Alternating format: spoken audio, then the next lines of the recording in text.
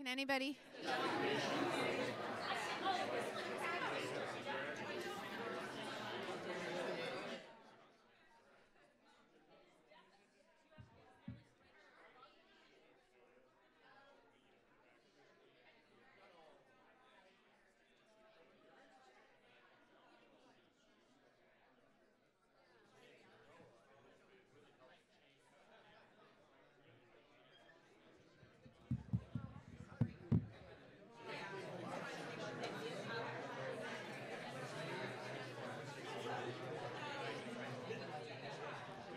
Good morning, everyone. We're going to start.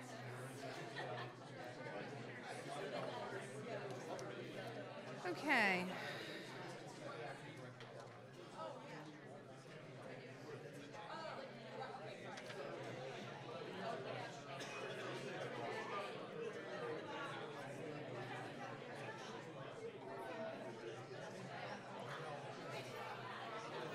Everyone could take their seats.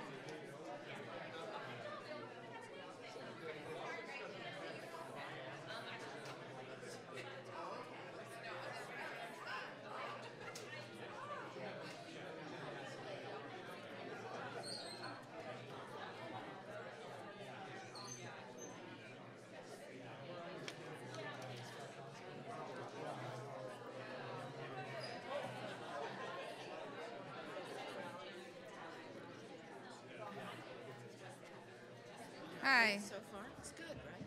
Yeah. I- 40 inches last night of coffee. I thought my head was going to explode right over my MacBook. I was like, and then my editor's like, when's your ETA? I didn't even get home until quarter to five, Okay. and I didn't stay. I had to write and file. I filed that sucker by seven o'clock. You're awesome. Then I had this huge glass of gin because I just Oh, you had very very I had vodka last week with, for the Bay thing. Yeah. And orange.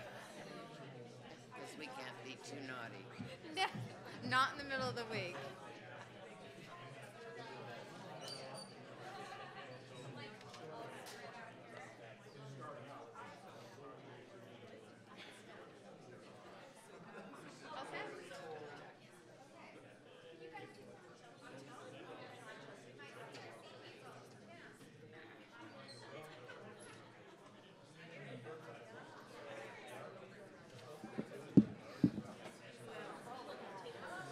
Good morning, everyone. Good morning, Amelia. Have a seat. We're going to start.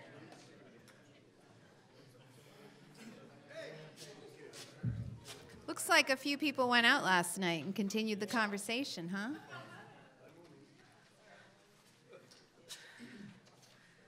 Grover, were you laughing at my joke? no, too bad.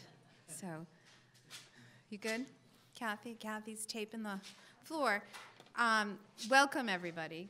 Good morning. And um, just want to mention we have an, an, addition to the group here. Um, Rhode Island NPR is um, has a mic on the table, just so you know. Okay. So, so last night I got a little bit. I got home a little bit later than I thought I was going to. Um, the reception was pretty good. Food was pretty good. The somebody even bought me a drink, so that was that was nice. Um, so I got home. I had to help my son with his math homework. Algebra is pretty tough nowadays. Can't remember that. And I listened to my daughter complain about her science teacher and how she really wasn't learning a lot. Um, some of you may remember she was she came into our last event and was running up and down doing the roaming mic. So I think she missed doing that. Um, so finally, as probably a lot of you know, when you go home, everyone's telling about you about their day and their problems and their concerns. Finally, they got around to saying, "So what did you do today?" You know, and I'm like, "Oh, that's right. You had that big event you're organizing." And um, so they asked me, "What did I learn? What what happened during that day?" So. Um, I didn't tell them all of this stuff, but this is, this is sort of what came out. I learned that probably offshore wind development was here to stay, that this was going to be our new reality, whether we like it or not. That the reason why the Block Island Wind Farm was a success or is a success and is continuing is for three, th three reasons. One, that the project was small it's a pilot project. That the ocean SAMP process facilitated basically a pre permitting process that engaged stakeholders, the best available science, and it built trust. And that the Block Island community benefited from this effort. And that those lessons learned should be applied as we move forward with the development of this, um, this new industry. We learned that although the Block Island Wind Farm has not, does not seem to have significantly impacted fish or marine mammals during the construction and operation, that there are still significant questions about the effects um, of, of these species when we're going to have hundreds of these wind turbines out there. That there'll be no buffer zones, no, Ed LeBlanc said, around these structures, except for during construction. And that these wind farms will not displace navigation or cause a threat to safety, if he has something to do with it.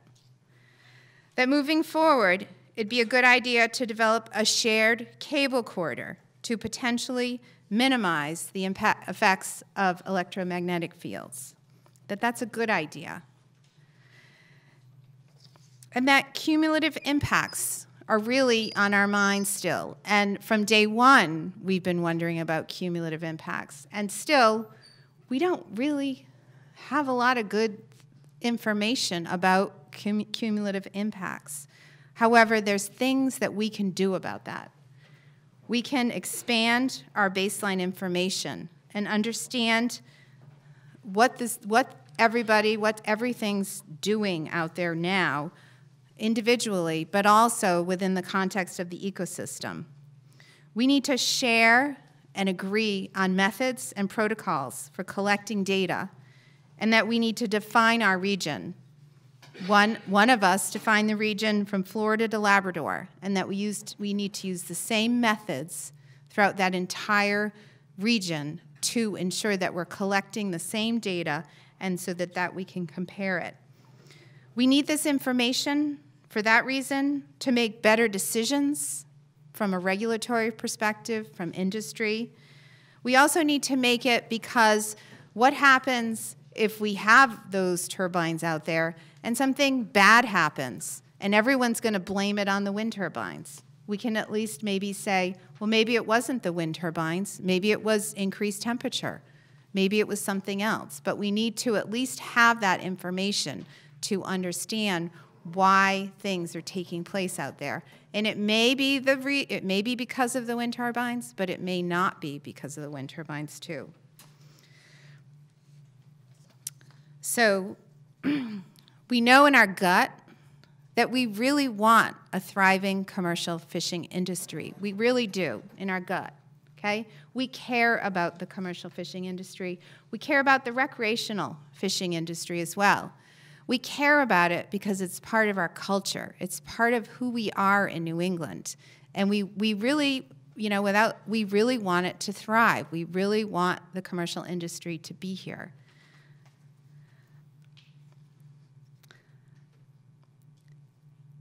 But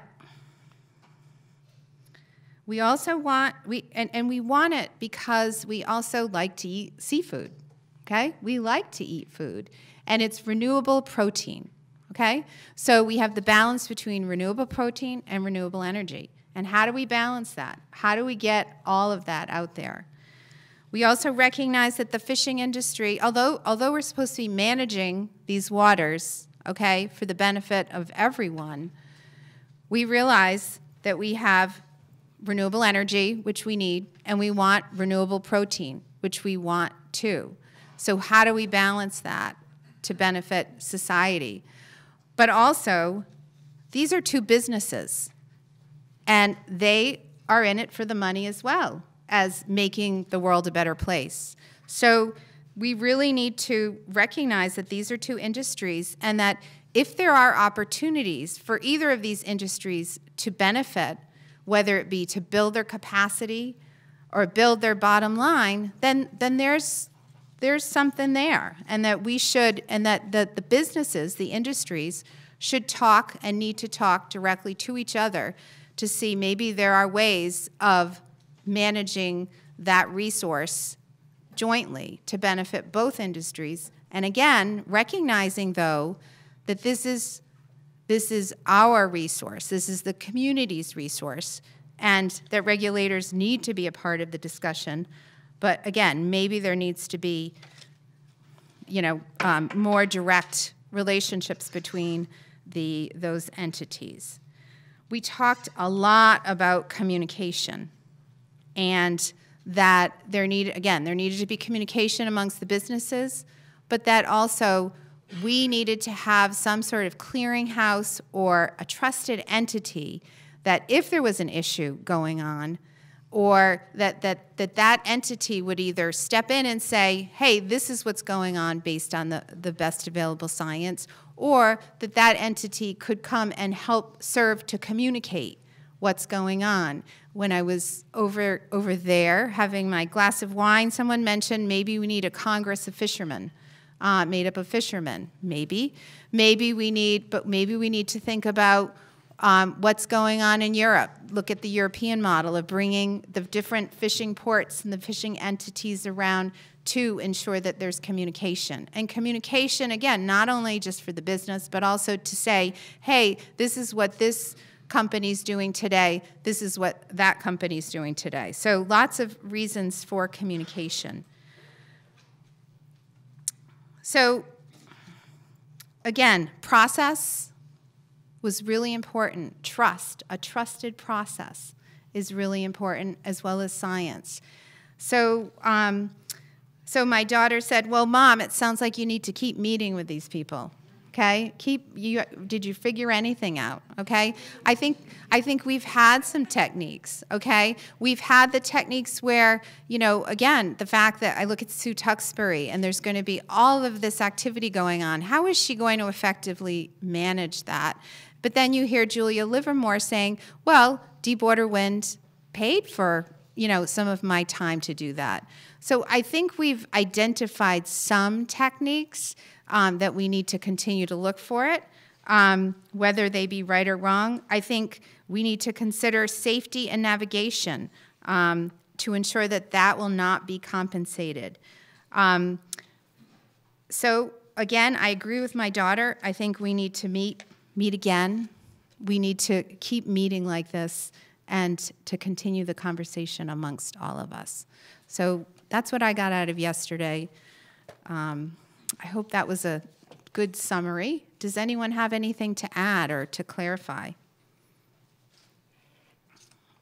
Yep. I'm Matt from Surfrider Foundation, uh, I'm Toledo News, I thought I'd just say, uh, you know, our members are very torn on, on the wind issue. Um, you know, they live in these communities, they're volunteers in these communities, and they know about climate change, but they're also just very, very concerned about uh, turbines. And so we're trying to walk them through and give them the good uh, information, so this has been very helpful. Uh, But we just want to add too, don't, don't forget about communities and and recreational folks, because they, they also uh, can, can revoke social licenses on this stuff too. So uh, they're out there and uh, they're powerful as well. So thanks a lot.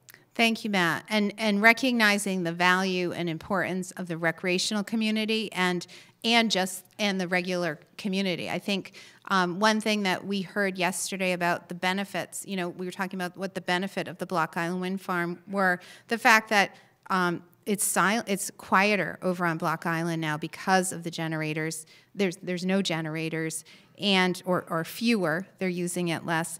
And um, we did hear about the recreational community as well, and I think we're going to hear more about that today. So, so very good point. Anything else you'd like to add? Yep. Bill.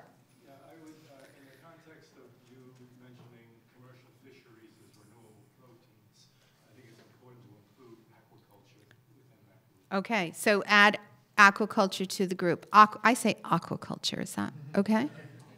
Okay, good. Oh, well, you know, I'm from Tiverton. Tiverton. Okay, great. So we're going to start the day. Um, we have the Habitat group. So Chris McGuire is going to come down and introduce the um, people on that panel. Thank you.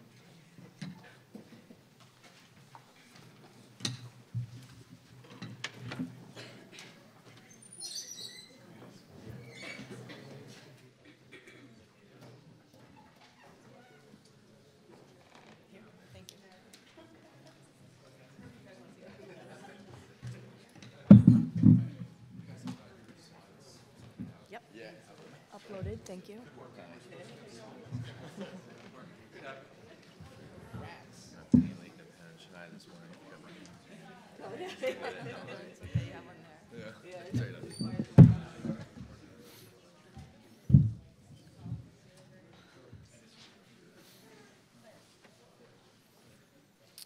Okay, um, I think we're all set. Thanks, Jen. Um, uh, I'm Chris McGuire, and I work for the Nature Conservancy up in Massachusetts.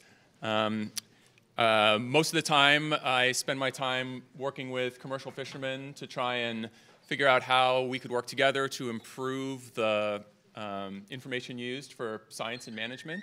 So this is not a, a big departure from that. Also, like a lot of people in the audience, I participate and uh, serve on a number of different advisory panels, and, uh, and one of them is um, with the New England Fisheries Management Council uh, has a habitat advisory panel that I am currently the chair of, and you know that counts. That panel is designed to help give advice to managers um, about uh, habitat actions that are going through the council process, which is not really that different than what we're doing today. Um, you know, here we're trying to uh, work with different um, specialties, and today we're, you know, this panel is about habitat. So we're going to talk about uh, some of the lessons learned, and um, with our expert panel here, begin to share some information that hopefully wind industry uh, participants will use to help make good decisions about habitat.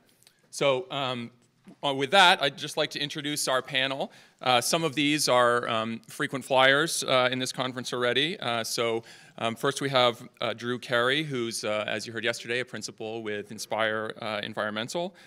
Um, we have Monique LaFrance Bartley, who's from right here at the University of Rhode Island's Graduate School of Oceanography. Kevin Stokesbury, um, professor at the University of Massachusetts Dartmouth School of Marine Science and Technology. And uh, again, Sue Tuxbury, fisheries biologist with um, NOAA Fisheries. So as we did yesterday, each of the panelists will uh, give a short talk um, about the work that they've done or, uh, or how they see um, this fitting in the future. and then we'll have plenty of time for all of your questions. So please uh, think of them. I think we'll start with you, Drew. Thank you. Oh, and I hear I have a device for you. All right, thank you, uh, Chris, and thanks those of you who uh, chose to come back today and show up this early. Um, we're going to go back down to the seafloor. I'm going to focus uh, quite narrowly on the Block Island Wind Farm in terms of what we've been doing there, what we've understood from that, and then I think the other speakers will sort of move out to a broader, uh, more regional perspective.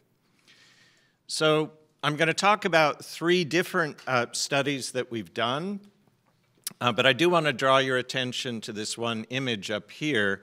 Uh, I think most of us would agree, just at glancing at this, that this is a what we would consider a high-value uh, benthic habitat. So there's a lot of diversity that you can see in the image.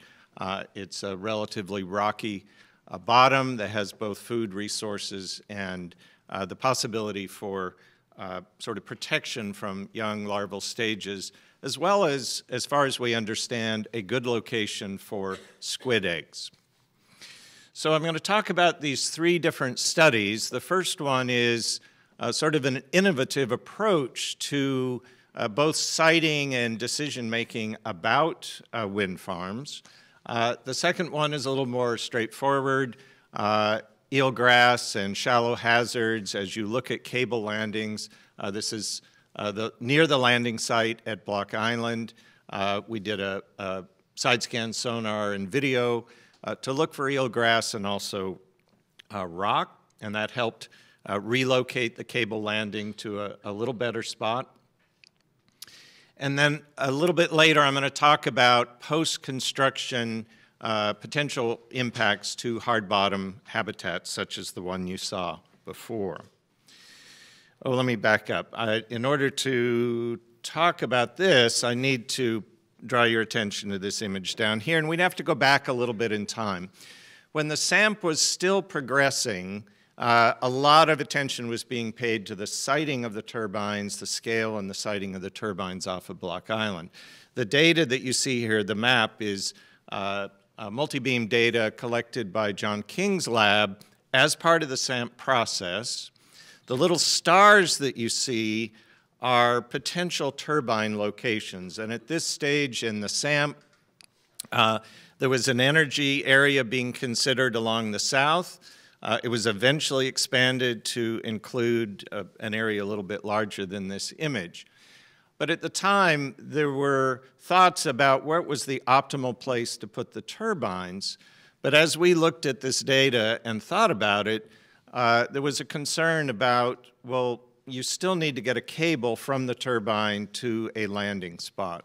So knowing uh, that this feature you see right in the middle here is a, a glacial moraine off of Southeast Ledge, uh, suspecting that it probably had quite a lot of this high-value hard-bottom habitat. So in advance of doing geophysical surveys beyond this, we went out and did a very rapid reconnaissance survey. We took 200 samples in two days, and we just tried like crazy to find a safe route across this moraine where you could effectively get a cable through there without completely disturbing the hard bottom. And you can see there's loads and loads of images there. Anything that's red was cobble. Anything with a black circle around it, we saw squid eggs.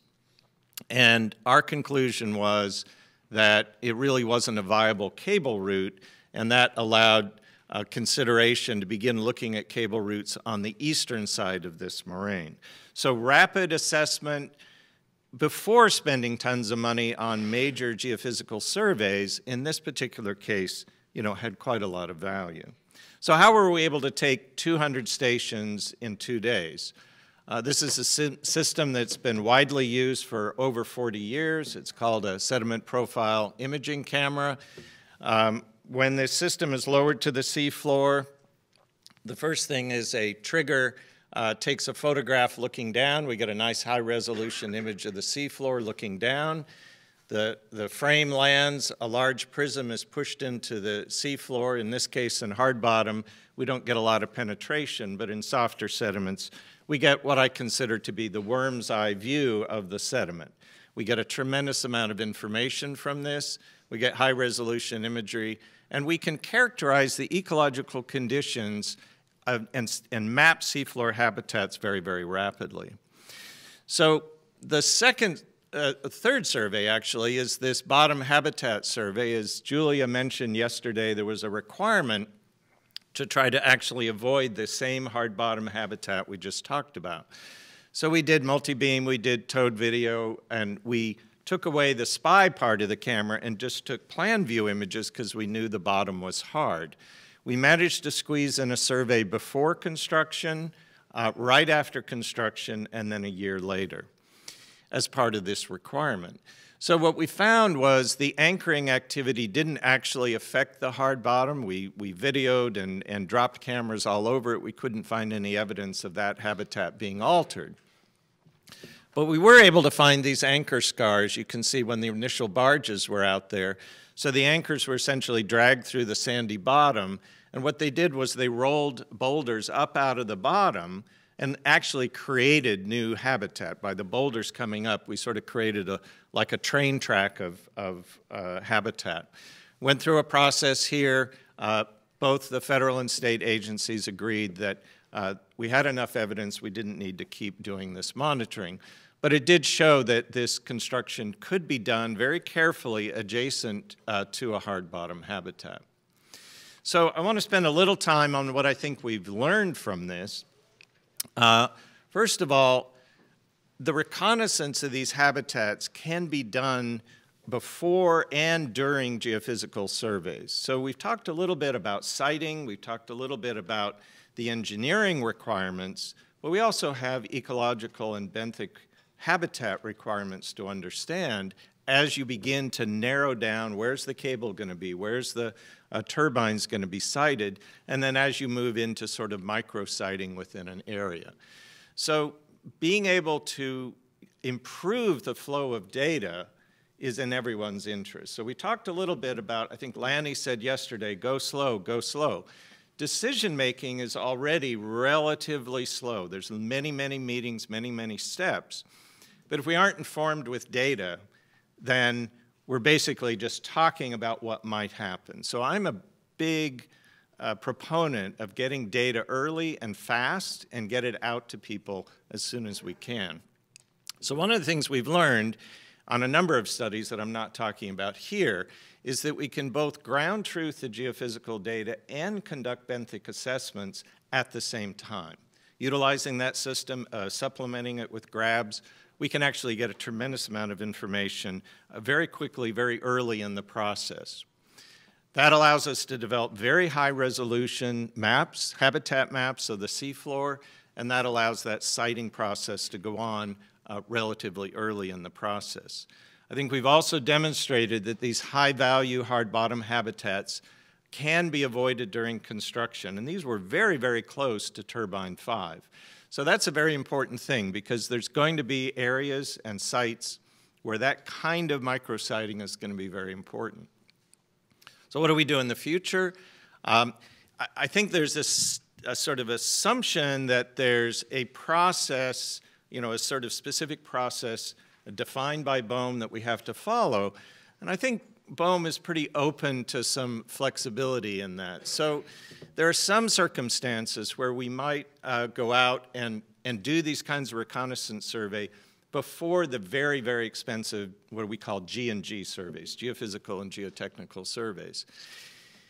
If we then also integrate data collection with those geophysical surveys, the geophysical surveys are really for the engineering side of the house, the benthic assessments for, for the permitting side of the house, if we integrate them, we're gathering data at the same time and we can use each of those to inform the other. That being said, in order to interpret this data, we need more regional data. This is where I think the next few speakers will, will fill us in a little bit. For instance, how much hard bottom habitat is there in Rhode Island Sound? Is it a limiting resource or do we have quite a lot of it? That's a very important thing for us to understand. So again, uh, sorry, Brian, I keep pounding on this, but regional funding and cooperation across all these different projects would really help. Thanks.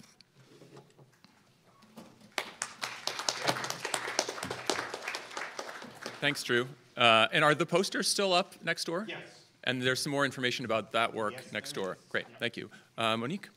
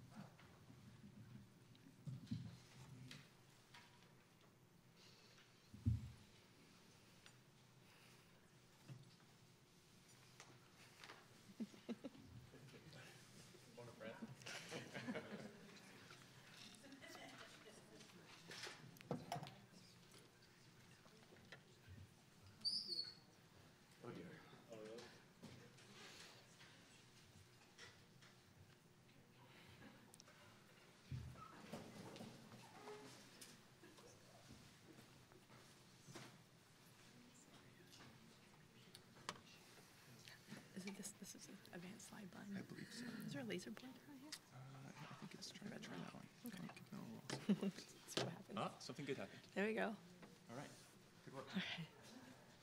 All right, thank you. Today I'm going to talk to you about a benthic habitat mapping study that we did off of the Block Island Wind Farm. Um, we conducted this study as part of the rodeo project that was funded by BOEM. I want to acknowledge my colleagues, which are Dr. John King, uh, Paul English from Fugro, and also Anwar Khan from HDR. I should also mention that this is an ongoing study, so today I'll talk about samples that we collected in 2016, and we have just finished collecting the samples for 2017. Um, before I talk about our findings, though, I just want to quickly give everyone an overview of what benthic habitat mapping is. So the term benthic means associated with the seafloor. So a benthic habitat is a spatially defined area where the physical, chemical, and biological environment is distinctly different from the surrounding environment, and therefore benthic habitat mapping involves illustrating the biological and physical characteristics, distribution, and extent of seafloor environments in a geospatial context. So a few examples of benthic habitats are shown in this figure, and you can see there's an oyster reef, a seagrass meadow, an amphipod tube mat, and a sand flat.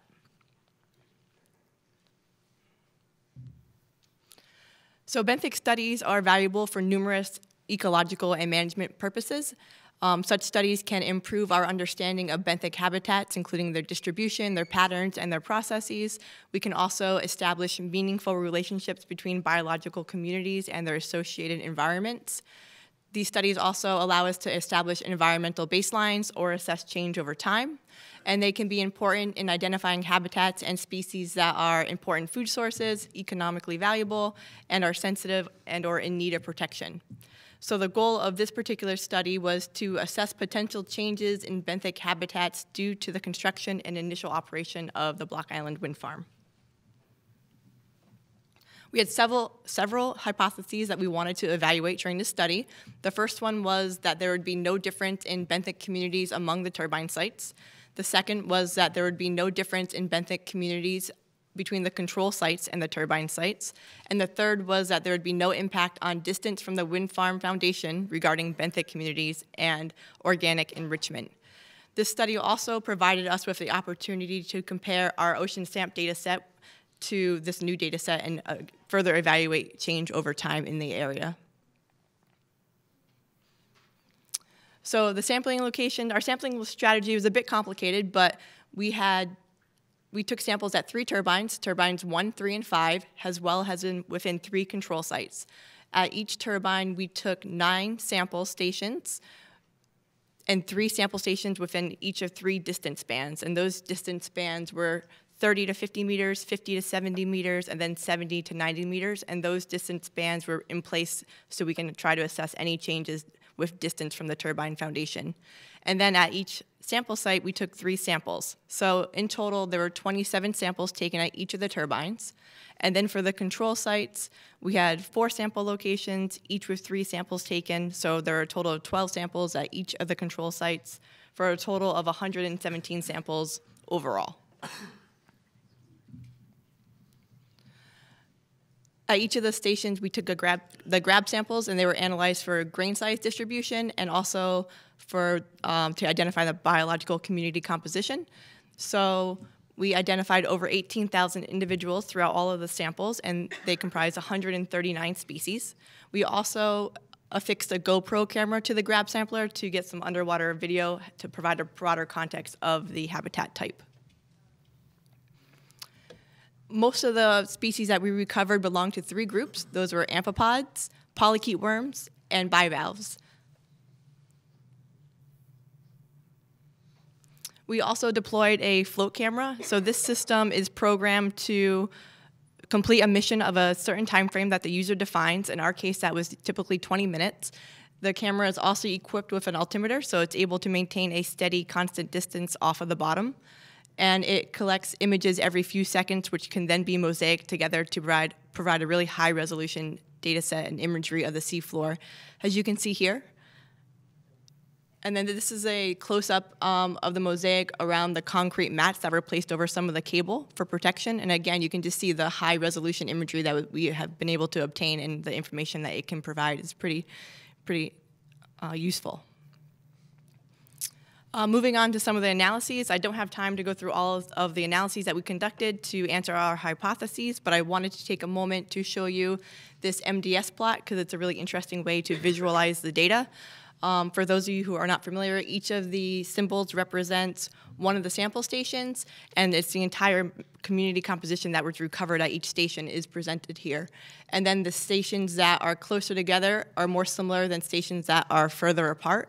And the main take home message from this plot is there's no clear distinction in the biological communities that are present within the different turbine areas and the control areas. You can see that by all these being relatively clustered together. We can see, though, that the biological communities at turbine 3 in the red triangles here and turbine 5 in the green triangles are more similar to one another than the community found at turbine 1, which are in these blue triangles. There's a little bit more variability here, but again, overall, broadly comparable. And I just want to mention that these orange stars that break out at the bottom, those are taken in one of the control areas, which was found to have a really bouldery environment, which is quite different than the rest of our environments. So that it makes sense that these break out differently, but they are not associated with the turbines. To answer our second hypothesis, um, similar again, the MDS plot shows there is no distinct clusters of the data. So the blue triangles represent the turbine samples and the purple represent the control site samples, and there's no clear distinction between those two groups. For our third hypothesis, again, I'll show you the MDS plot um, for a couple of the turbine sites. There's no clear distinction in the benthic community composition with distance from the turbine, as you can see here. And then looking at the organic enrichment, there was very little um, organic content in all of the samples throughout all of the um, study areas, and there was clearly no effect with distance from the turbine. So now taking a step back and looking at this data set and comparing it to the Ocean SAMP data set, we found that the communities were broadly comparable. Um, again, the Ocean SAMP data set was taken in 2008, so it's nearly 10 years, and we can see that there's minimal change over that time frame.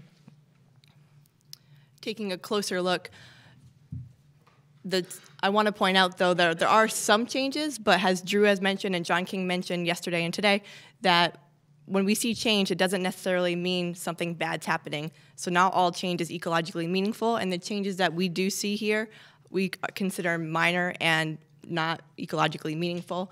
Um, for example, the species that have changed here, this is a polychaete worm that's a tube builder that is now defining this portion of the turbine study area, whereas before it was a tube building amphipod. So even though one's an amphipod and one's a polychaete worm, they both serve the same ecological function as tube builders. Um, one more, another instance is this the turbine one and three are no longer defined by this Lumbrineris uh, polychaete worm, but this species does play a key role in this data set and is very much present. So overall, just the conclusions, again, show there's no clear changes in benthic habitats or associated biological communities. None has been detected due to the presence of the wind farm at this point in time. Um, comparison of the wind farm and ocean SAMP data further confirm minimal changes have occurred over time. And this study has allowed us to establish a detailed baseline data set of the turbine sites. And again, this next itera- iteration of this study is ongoing. So, thank you.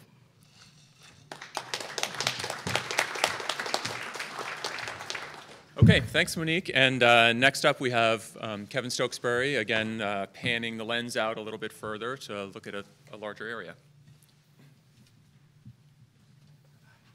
Well, good morning. Thank you uh, very much for uh, uh, having me uh, talk again a little bit about my work. And uh, so, I, um, yeah, I'm going to uh, expand out a little bit, and I'd like to, you know, recognize my my colleague David Bethoney, who w- works with me on all this stuff.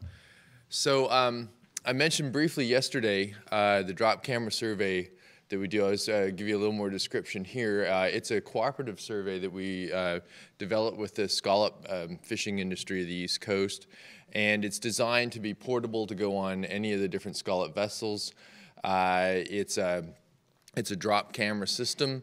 And in its present iteration, we've, uh, we, are getting these high resolution images. So we have uh, three camera views. We have two videos running and then we get a high resolution digital still. And this digital still now has a uh, resolution of uh, 0.29 millimeters per pixel. So it's a, it's a very high, uh, uh high, uh, um, it's a good picture. Uh, so, so this is the, the, the we, I started this in 1999 when it was not nearly as fancy. We were, I had to pull it up by hand with a fisherman, and and it's kind of evolved. Um, over over the years. Uh, in 2003, we expanded it to the entire footprint of the Scallop resource, which goes from Virginia up to the uh, Canadian Hague line. And so this is a, a, a, compilation of all our stations. Now, at each station, at each dot, the pyramid is dropped down and set on the seafloor four times. And so you have the three cameras running at four drops at each station. The largest uh, scale we do is a uh, 5.56 uh, kilometer grid, and then we do much higher resolution scales in areas that are either uh, important for, for habitat or, or mostly it's, it's primarily used to assess the scallop resource. And so that's why you see a lot of those high uh, dense areas in the, uh, in the closed areas. But then up on in the Gulf of Maine, um, our, our, our, grid is about um, uh, one kilometer. And we've actually extended it. We've worked with the Canadians. We've done the Canadian side of Georges Bank now, and we're all the way up to uh, Banquereau Bank. And um, uh, Browns Bank on the Canadian side. So we're we're kind of slowly slowly creeping out. Um, what it does is it's a visual, it's all a visual survey. We don't actually collect samples, which is uh, helpful for uh, collect physical samples because it's helpful for um, getting around permits and such. Uh, but and it does very good at, at recording the the the larger um, sediments like rock, cobble, and, and granule pebble. Uh, but for the fine sediments, other than just saying it's sand or, or sand ripple, it's not so great. But you can combine it. In this uh, example, we combined it with the USGS uh, grab sample. And so you start to put these databases together. Uh, you start to get some really valuable uh, images and descriptions of the, of the sea floor. It also, we set it up um, on, a, on this grid pattern with the idea of being able to, to change the, the, the, the sizes of the different, you know, in, in when we set it up for closed areas, but to different uh, examples and to look at it and to be able to, without paying post stratification uh, penalties, to look at um, different areas. So in this example, we did survey, we were funded by the, the um, Massachusetts to survey the wind farm area in 2012 and 2013. So on this table, WF stands for wind farm. Uh, CS is the continental shelf, GB is Georges Bank, and the Mid Atlantic. And so you can look at just as a simple example of the percentages of the, um, the uh, uh, substrat that we saw in each of the, um, the quadrats. So it allows you to start doing some uh, comparisons in that way. Uh, here's a couple of uh, high resolution digital stills. One is the, the far one is of um, Cox's Ledge. And so uh, in that, you do see the similar to the other um, presenters that were talking about the hard uh, substrat. We, we saw that as well. You can see the uh, squid eggs up in the top corner. But most of the area is a fine sand, uh, sediment covered uh, sand dollars are, are very prominent. And uh, my, my daughter was uh, unable to get a job for a couple of years, so I made her count sand dollars, and there's nothing more inspiring for a teenager than to get out and get a job and count 70,000 sand dollars or so. Uh, but it's also important for um, um, uh, uh, the, the flatfish. So when we, uh, we our, our, work's also uh, been used with uh, uh, the Habitat Omnibus developed by the uh, New England Fisheries Management Council. This is the, the grid that they um, used and a while ago the Nature Conservancy came to us and said, well, could we put our, our work together with Dr. Chen's work who has the FVCOM model and because all that work was used in the, in the habitat management plan, and so we wanted to make it publicly available. So we, we combined these onto uh, the grid that was used in the Habitat Omnibus. And in the data set, you can go and you can put your, your cursor on any grid, and this is the kind of uh, information that comes up, how many stations were in the area and what kind of compilation you have. And uh, then that uh, is all put on the data, uh, the data portal. And so this is uh, the, the FV, so it's important to link the physical with the biological. So this is the FVCOM generation uh, for bottom temperature. It does bottom temperature, current, uh, surface temperature, and from that you can also calculate bottom stress. And this is, uh, the example over here is the extremely warm temperature we saw in 2012 for the entire continental shelf. Then I, have just presented two examples of the different, this is, uh, we have two types of data in the data set. We have present absent, which is uh, what we use for bryozoa, hydrozoa, sponge, that, the, mostly the colonial uh, organisms. But it does give you, so, so what this is, is uh, whether it's present or absent in each quadrat and four quadrants at each station, and then the stations combined into the, uh, into the grid. Uh, but you can also do averages on it. So you could get that, or for um, the more scallop-centric kind of uh, uh, animals, such as uh, scallops, or in this case, sand dollars, which prey on scallops. We count the individuals, and you can get the numbers per meter squared um, right through from the images. So, so all that information from 2003 into 2012 is on the portal. We now have the data set up to 2017. Uh, looking a little closer at the, uh, the Massachusetts wind farm area, as I said, we sampled it in 2012 and 2013. Uh, this is just the most simplest of, of indices, the percent similarity index, where you, you calculate the percentages and you can compare. So if it's 100% similar, they're exactly the same. And, and so these are the most dominant um, features that we saw. We saw whole sand dollars, sea stars, skates. And, and so uh, what I'm trying to get at with this table is that even without any kind of interference, you only had about 65% similarity just between one year and the next. So that kind of annual variation is, is very important. Had you, had you not had a bit of a time series like that, you could put the wind farm in and say, oh, well, it caused a 35% uh, variation, and that's, that wouldn't be true at all. It's just a natural variation. Uh, the other point is that um, this was a very cursed survey. It was, you know, really more of a preliminary. Uh, we did see some hard substrat. In one sample, I thought it was maybe a coral. I sent the image to Peter Osterden in UConn, and he thought it was the tubularia worm. So there is an advantage to taking the physical, or um, you know, collecting the samples that you can hold in your hand and actually examine as well. So that's a little bit of a limitation, but uh, at least it, it, it, gives you an idea. And I do want to point out that anything we see is, is relatively common because we're taking so few samples compared to the area. Thank you. And that, um, I was going to show you a little, little bit of a video just of the, the, you know, some GoPro images, but I got the one minute wave and, and, and uh, with the computer pushing it, I, I, I won't, but uh, what I will, I will say is that the, uh, you know, the, the real advantage for someone who's worked with the, the, the absolute ob obnoxiousness of trawl surveys.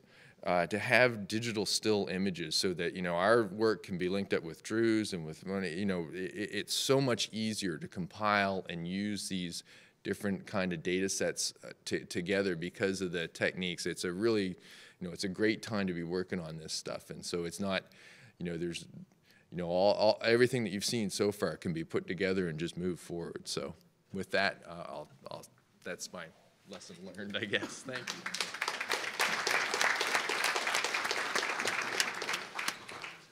Thanks, Kevin. We're doing well on time, uh, and I think Sue's our last speaker. Start thinking about your questions.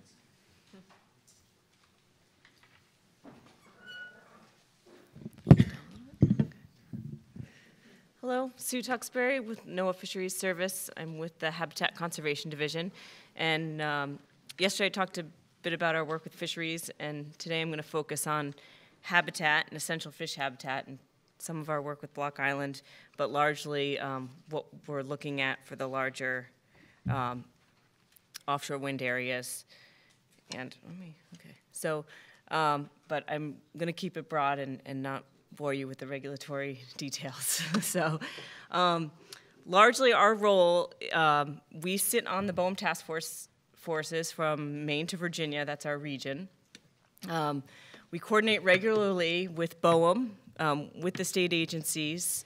Um, I regularly talk to Julia Livermore and Catherine Ford um, regularly on these projects, and I think you know Grover touched on it a little bit yesterday. The states, you know, because they're on the ground, certainly have a greater capacity to get more involvement from the community and, and feedback from the community and, and set up those you know working groups, um, which has been a tremendous help for us and for, for me and what I do.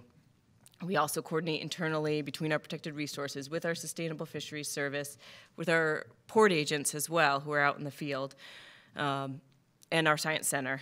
And I probably should have touched on a little more yesterday, but we also do coordinate with Fisheries Management Council staff. And um, as these projects are, are moving forward, we're, that, we're ramping up on that coordination, I should say. Um, and we also meet with the developers on the project and as, as the projects progress. Um, we regularly advocate for um, for coordination and communication with the fishing industry and um, with the councils. Um, we advocate to BOEM and, and to the uh, developers. Um, we're a stakeholder in planning for monitoring and science needs. Um, you know, each year I try and work with our science center to when BOEM puts out proposals for ideas on on potential things to study. Um, I usually am, get with our science center and try and at least put some ideas out there. Um, and we, we provide feedback throughout the process. And then we also do the EFH consultation, which is, um, we work under, under Magnuson for that. Um, so I'm going to focus on that, but, but, you know, a lot of people wonder, well, what is EFH? Um, I should say that, you know, the entire offshore area has EFH, has mapped um, designated EFH for federal species. The definition is um, waters and substrate necessary for fish for, for spawning, breeding, feeding, or growth to maturity. So yesterday, you know, was brought up um, questions about forage species. Well, that's part of EFH because, um, you know, food for a federally managed species with designated EFH fits under the EFH umbrella. Um, so, and it's also, it's not just benthic habitat that we heard about in the bottom, but it's also pelagic habitat. And that includes, you know, physical, chemical, and biological properties. Um, so, so we're looking at the bottom, we're looking at the water column. Um, it's really, you know, it's a large umbrella. It's kind of looking at the, the ecosystem. Um, also areas that are historically used by fish. So, you know, you'll see with some fisheries, there's areas where there'll be years up and down as far as catches and, and the individual species use of a certain area. So we still consider that to be EFH, even if it's an off year and, and they're not in the area at that, that part. Potential utilization areas are also included under EFH.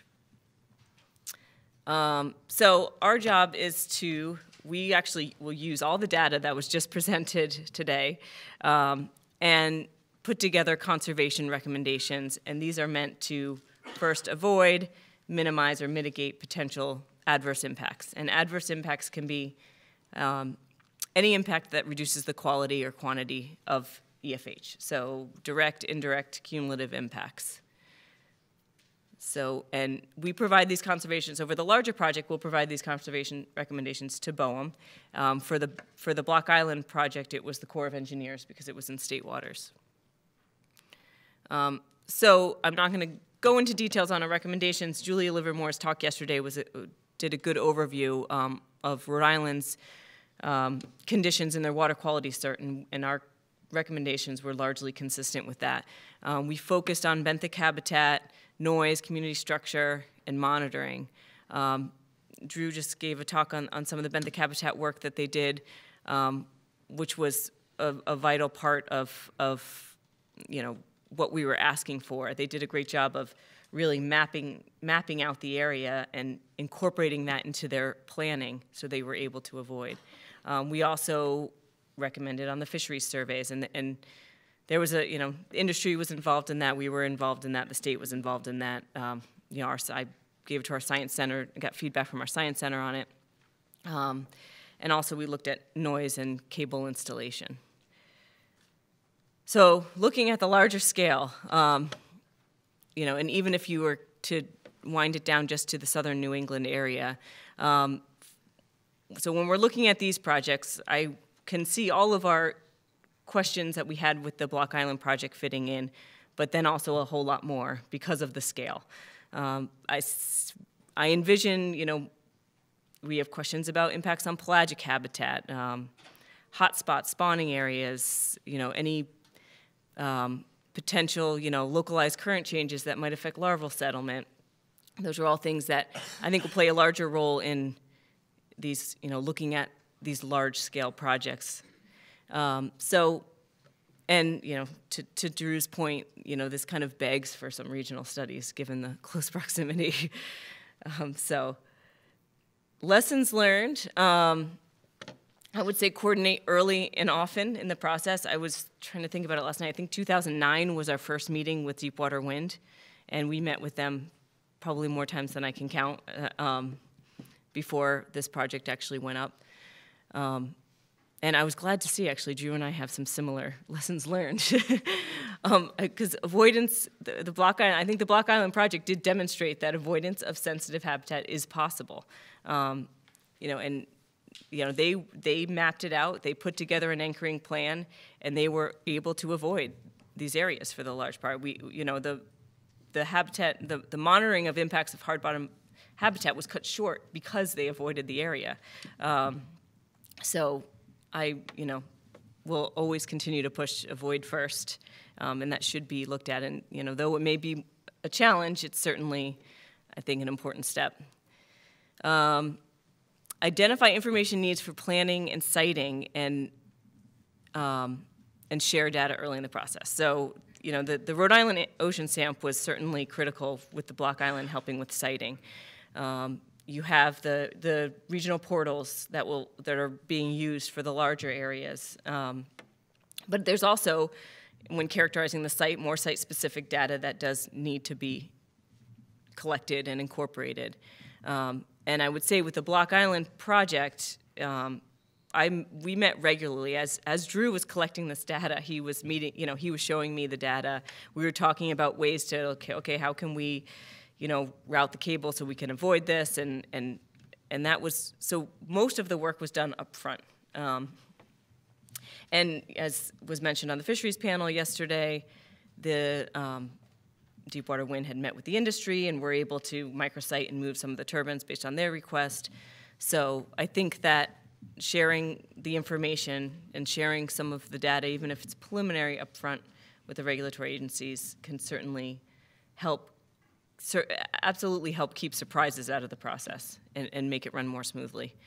Um, these are some thoughts also for going forward, establishing a monitoring program which incorporates more than just um, regulatory stakeholders and looks regionally. So, um, again, the Block Island project, their their fisheries and lobster study was done. You know, they incorporated industry and um, the scientific community in that, and I think that's going to be really important as well. And I and I think BOEM is starting to look at that with their. Um, they put together the National Academy of Sciences steering committee. Kevin sits on that committee, and and um, I think we're starting to, to move in that direction, hopefully. And I think that's that's going to be important because I don't think the regulatory sh- community should be working in a bubble on this one. Uh, so, and also regional studies. So it, it's clear that there's still questions on how we're going to define region, um, but I think the regional studies are important. The regulatory process goes, you know, is done project by project um, because that's how the, they get their permits. But given the fact that these are large-scale projects immediately adjacent to each other, I think um, there needs to be some regional studies. And we need to, um, you know, it's clear a lot of data has been collected on Block Island, and, and we will certainly use that data, and BOEM will use that data, and, and between some of the studies we heard this morning and the rodeo work that BOEM's been doing, um, that's certainly important and should be used, but we also have to consider the scale. And, and when we look at some of these offshore projects that are coming up, it's cumulative impacts, which, you know, was said a number of times and probably can't be said enough, needs to be, you know, considered here and, and the scale of these projects. So we have to think about what other information needs um, we need to look at given the, the large scale of these projects. So that's all I have. That's my contact information if you have any questions.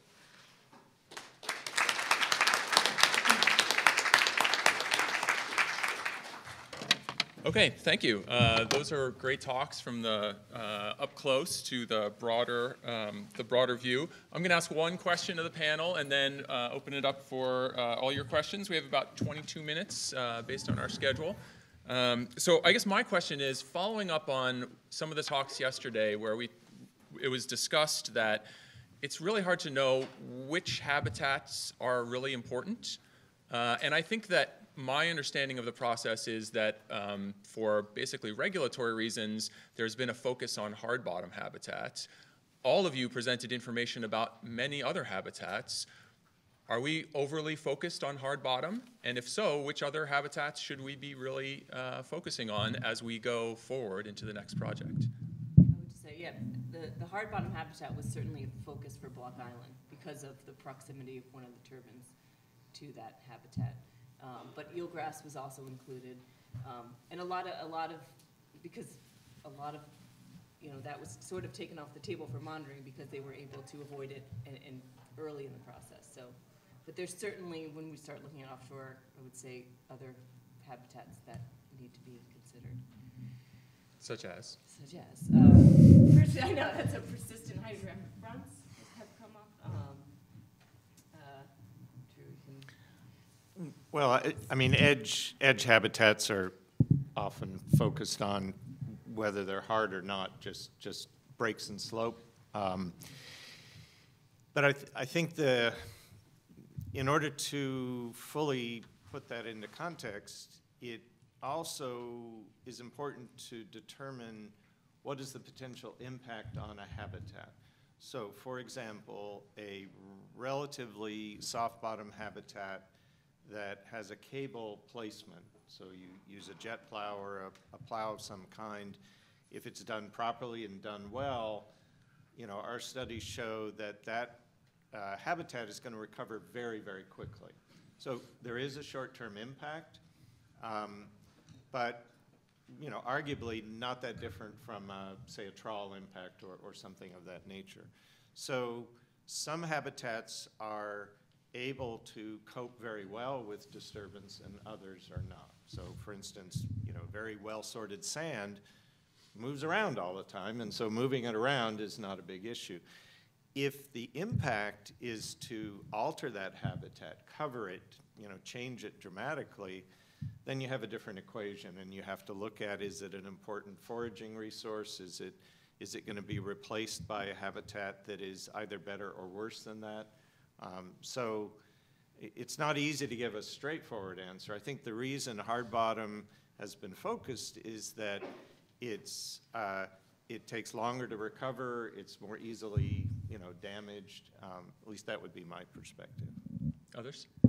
Yeah, I mean, my, m- my thinking uh, on it, or my bet anyway, is that you- you're actually going to increase the hard bottom habitat. I mean, certainly you're increasing it by putting, putting the, the, the- the structures for the turbines themselves in it, and the work in Europe shown that the, you know, those create a, a, a substantial amount of uh, habitat. And then, you know, if you have those uh, concrete um, covers over the the um, uh, cables, as Monique showed, you're, you're going to have that's going to be more habitat as well. I think that um, you know how how the currents are affected with scouring, how the uh, you know there you know what is the advantage of having large open areas of of, of sand um, eh, for some of the flatfish species and, and that type of thing is something that we don't really have a have a very good handle on. And so I, I, I think that the, the classic measures of ecology as far as biodiversity or increased uh, biomass, y- y- you know, if you measure it just as a success that way, my prediction is you'll probably increase those. But, um, you know, you are changing them. I would also say that as we've continued to conduct these studies and understand how species utilize their habitat and the food resources that are there, we'll be able to better identify areas that are more valuable. For example, the areas with dense amphipod tube mats that we have found off Block Island. Yesterday, Jeremy Collie showed that that was an important fish food resource for uh, flounder, so that could be something to consider in the future. Yeah, I think that those kind of triage questions are going to be, you know, top of mind for a lot of developers and regulators. Okay, um, questions? I see uh, John Williamson in the front row. Uh, Yeah, I'm not, not a scientist, but uh, they let me sit in a room with them sometimes. And, uh, I'm on the same uh, NAS panel with, uh, with Kevin. And I, the, so questions for the entire panel, but I was struck uh, by Drew's presentation that uh, uh, you know, the detailed microhabitats so important in understanding those and mapping those microhabitats. But we're dealing now with a scale, as Sue pointed out, that's a couple of orders of magnitude greater than the experience at Block Island. And uh, it seems to me that there needs to be some sort of a coordinated policy for sequential sampling and mapping so as to be able to uh, zero in on microhabitats that will, you know, that, that are gonna affect, uh, construction techniques or whatever. I mean, I- it, it, uh, in Drew's uh, presentation, I mean, you, it seemed to me you had the, I was struck that you had, you might have had the, the sequence backwards and that you do the micro sighting, uh, mapping before the GMGs, maybe the GMGs inform where the micro sighting, uh, uh, mapping tool takes place. So just for those of you playing at home, uh, the question is about sort of sequencing of research methods in order to do micrositing. And I think also the scale of Block Island compared to uh, the projects that are on the table. Uh, So John, there's a, uh, maybe a couple of different ways I'd answer that. Um, First of all, just the scale. Um, If uh, the guidelines uh, that BOEM has promulgated are followed, uh, which they undoubtedly are, um, then the, uh, the mapping detail that's obtained within uh, wind project areas is equivalent to what you were seeing at Block Island.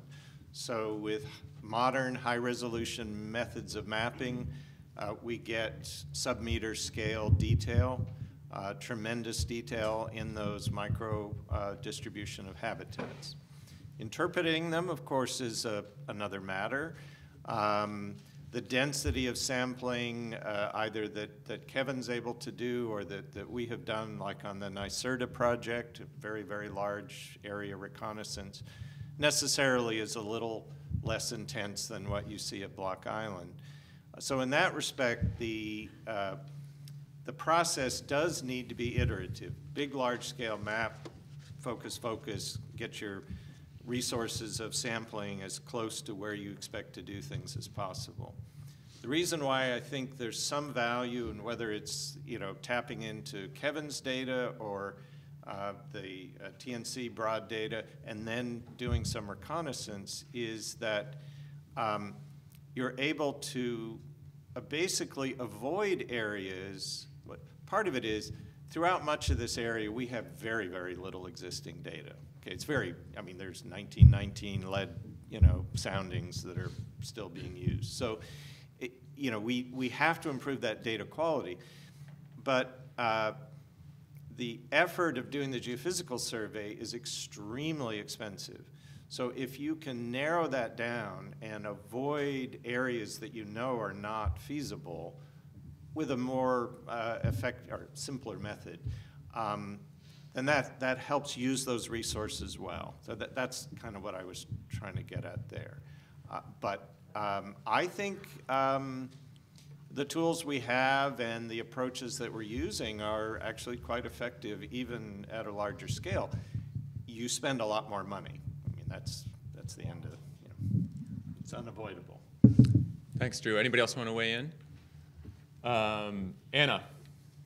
Thank you. Yeah, so this question is for the whole panel as well. Uh, I think we all realize, probably everyone in this room, that we're, um, you know, doing this research and developing these facilities in a time of rapid change, both in the environment and our ecosystem. So my question for the panel is, um, when we think about more transient habitat features that are also important for the ecosystem and for fisheries, areas of high productivity, areas of upwelling, gyres, fronts, et cetera, um, do you have either information about that already, or is that an area where we need to focus on more going forward?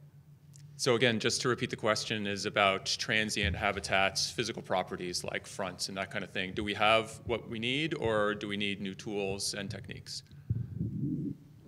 I, well, I- I'll, I'll take a crack at, at starting that. I, I think that we're actually, you know, you always, you always want to continue the development, but we're actually at a really good phase. We have some, some very good high-resolution oceanographic models that are good at, at defining um, uh, things like turbulence, uh, upwelling, you know, they're being used for icing with the Coast Guard, they're being used for, for flood examination. Uh, So, so it's, it's really kind of linking the, that information. We also, with the, uh, with the drop camera systems and the, uh, the, the, the type of uh, um, gliders and that type of information, I mean, there's a, there's a lot of potential to collect it. It's, it's coordinating it, uh, and it's making sure that you have the commitment to get out there and, and do it and to keep these, these series going. But, uh, you know, I think we're at a pretty good spot for, for measuring that kind of thing. Drew? I guess the one thing I would say that is a little difficult is that uh, the collection of the high-resolution bottom imagery is so expensive that uh, if there are ephemeral features, uh, sand waves, uh, migration, uh, changes in, in density of, of organisms, it's hard to spend the money year after year to collect that unless you're able to narrow down on one specific area. And this is where I think the monitoring programs that, that follow can potentially give us some clue. So if you're, if you're uh, collecting data on one specific type of habitat, you know, over a period of time, uh, that can serve as a proxy for other habitats that you expect are behaving similarly, same water depth, same exposure, that sort of thing. I, I'm going to jump in there one more second on that because I, I think that we, in, in, in a way, as, as scientists, we're, we're also kind of limited in, in our thinking of, of scale and about, you know, finances with this. I mean, our, our survey, that broad scale survey, the industry donates about uh, a quarter of a million a year, and we, you know, run our, run that project on about half a million, half a million. So less than a million dollars, you're surveying from Florida all the way to, uh, to uh, um, the Hague line. So it's, you know, that, that's not a huge amount of money compared to the, uh, the, well, the scallop fishery, for example, is a, is a half a billion dollar a year industry. Um, these wind farms are going to be, I mean, it's huge money. And I think that, you know, we don't, we shouldn't be constrained in how we're thinking about what we need to do this to do it right. Thanks. I've got uh, Grover. Go ahead. Yeah, I, I guess as a regulatory agency, I would ask this question. Obviously, there's potentially a period of rapid development that's going to occur here, and that's where most of the money gets fronted for these studies. Um, Then we move into two years, or maybe even three years, post-construction monitoring. But there's very little that then is provided for, say, a five or 10-year look at that, that system. Is that something that as regulators, we should be thinking about in terms of conditions to be placing, uh, to, to take those longer-term looks? Because we're so condensed on this very short window of, of six to eight years. So again, the question is about long-term monitoring, right? I would argue yes, I think we should, and I, I think that's why, you know, s- setting up a, a monitoring program that incorporates, you know, industry and science, and so we can do a longer-term monitoring, so we can follow up on some other questions that may arise while, while we're out, or while the folks are out collecting the information. Um, I think that would be important in a, and a m- model we should strive for. Monique? I agree with that also, and also having pre-construction data is really valuable too, as Kevin talked about, and I talked about a bit too. There's, some of those environments change quite a bit over time, and not having pre-construction data, you're not sure if the changes that you're seeing is a result of the construction, or if it was already a very variable environment to begin with. Can I ask a follow-up question about data availability? So uh, there's lots of work going on. Kevin mentioned that some of his work has been shared through up to the data portal. You know, is there stuff that's like in Drew's basement right now? Uh, I mean, how much? You know, I know that there's some uh, information that's collected on the developer's dimes, which is proprietary. But when we're talking about uh, system-level monitoring, you know, how is that data being shared, and should we be doing something else? And then I've got Dave with a question right after that. All right, since you're going to poke around in my basement, uh, yeah, there's a lot of data there, but um, I- think I'd kind of combine this with Grover's question, which is that, I guess in my mind, once projects have been approved and are built, uh, particularly this band of projects going from the Rhode Island mass wind energy area right through the, you know, they're continuous, literally that that kind of larger scale, longer term monitoring, you know, I think would be more valuable if it was coordinated, if it was one big piece, um, and that there's some cost sharing between uh, the developers, the uh, agencies, uh, you know, that, that it's a, it's a comprehensive thing as opposed to a patchwork of different efforts. And then the data is no longer really proprietary, it's just kind of looking at the big picture. Um, That would be my take. I see a lot of head nodding in the crowd. Anybody else want to pile on that one? Um, let me go to Dave Monti. Uh, ve- Very quickly, uh, this is for Monique and Drew primarily, but the other panel. I know that there were, uh, the studies that you did on the bottom were sort of unremarkable and didn't really show any fa- you know, great changes. Was there anything that you saw that would, um, that merits uh, further study with the cumulative impact? In other words, the study was uh, at at a wind farm where there were five turbines. What about a 15 turbine farm? What about a 20? So did your study lead you to say, well, everything looks okay here, but let's multiply this by two, three, four, five times? I'm just wondering if it sort of pointed you in a direction. I think that for our study, we were expecting, if any, effects would be pretty close to the turbine wi- within 100 meters or so. So if you space the turbines out, you know, a half mile apart or a mile apart, then the cumulative impacts probably wouldn't be great, but it's a good point. Uh, Certainly, based on the work that we've done there, and I I guess I'd be combining both the fishery and the, and the habitat data, um, I would agree with Monique that I don't see anything in there. And I think it's important, Kevin pointed this out, and I could have reinforced it better yesterday, that most of our studies are designed really to detect pretty dramatic changes. In other words, if there's, we know there's variability inherent, and the, just the nature of the kind of data, the complexity of it, um, unless there's a pretty dramatic change, we're not necessarily going to see small, subtle shifts. They happen anyway, as you know, from year to year. The catch is different, the, the big concentrations of amphipods come and go, and nobody knows why. Um, so it's a fail-safe. It's, it's really looking for, is there any dramatic change? And if there's not, well, that's the nature of the system. So, um, no, I don't see that, even though we do have to look at each habitat differently, I don't see the scale as, as really being any different. I think that was a big take home for me about yesterday and at the National Academies meeting was really focusing on the difference between effect, which is any detectable change, and impact, which is uh, you know a sort of an important change, whether your definition is alters EFH or alters the delivery of an ecosystem service. So I think those things are, you know, that's something that we always need to um, keep in mind. I want to go to Eileen for one more question, and I think that might be it. I would just add. Oh, sorry. Add one thing on that, that, um, even from an EFH standpoint, we expect there to be impacts to EFH. I mean, there will be impacts. I mean, what we also have interested, an interest in is the significance of that and, and the, you know, the regional implications of that, particularly for sustain, for fisheries, so. And would just- direction, for that matter. Yeah. Could be positive or negative. Yeah, absolutely, yeah. Impact is either way. Go ahead.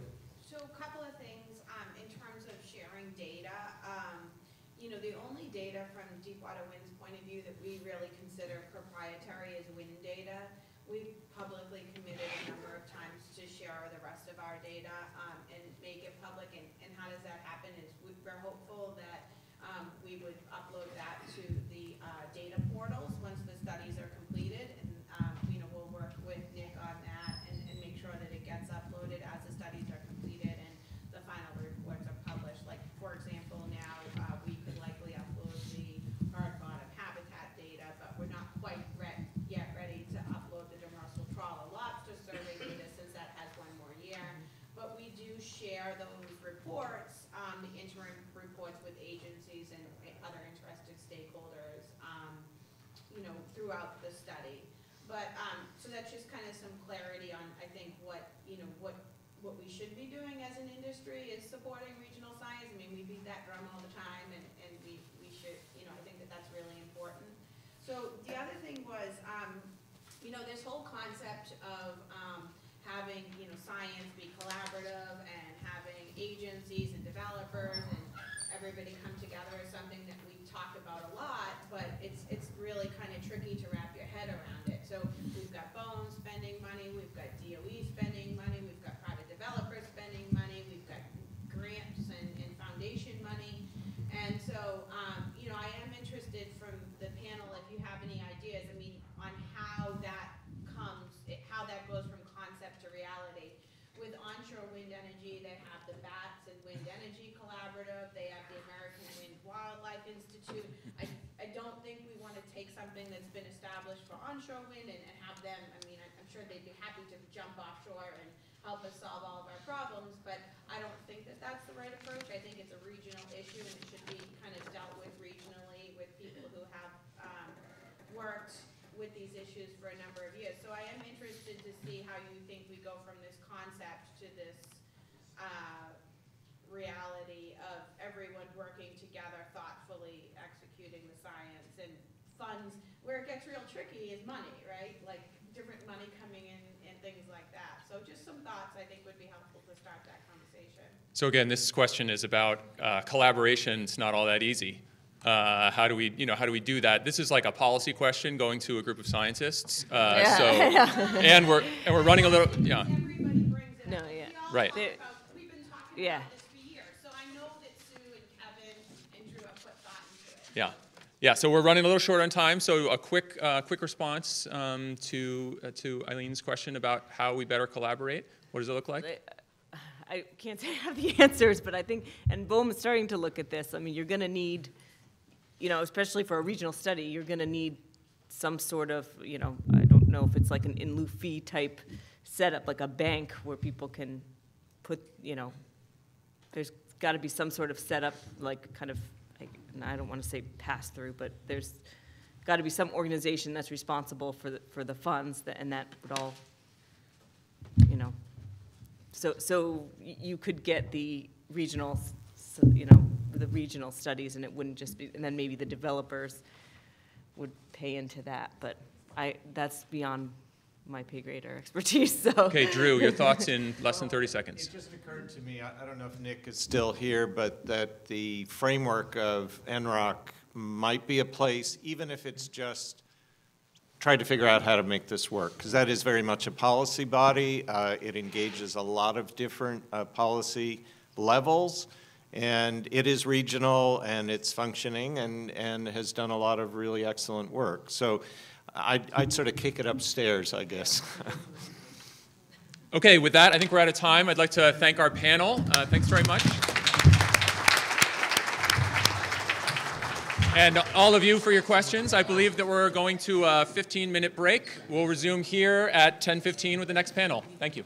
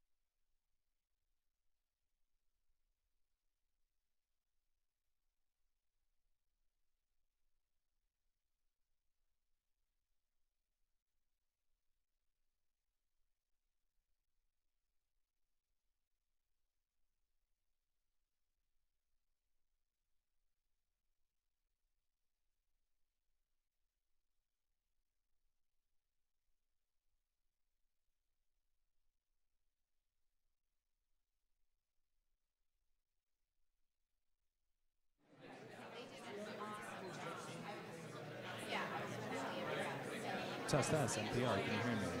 NPR, can you hear me? Test, test, one, two. Test, test, one, two.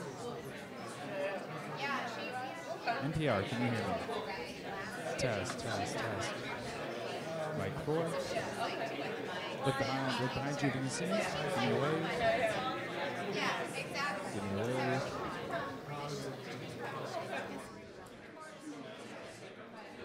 Give me a wave if you can hear me. Can you hear me? NPR.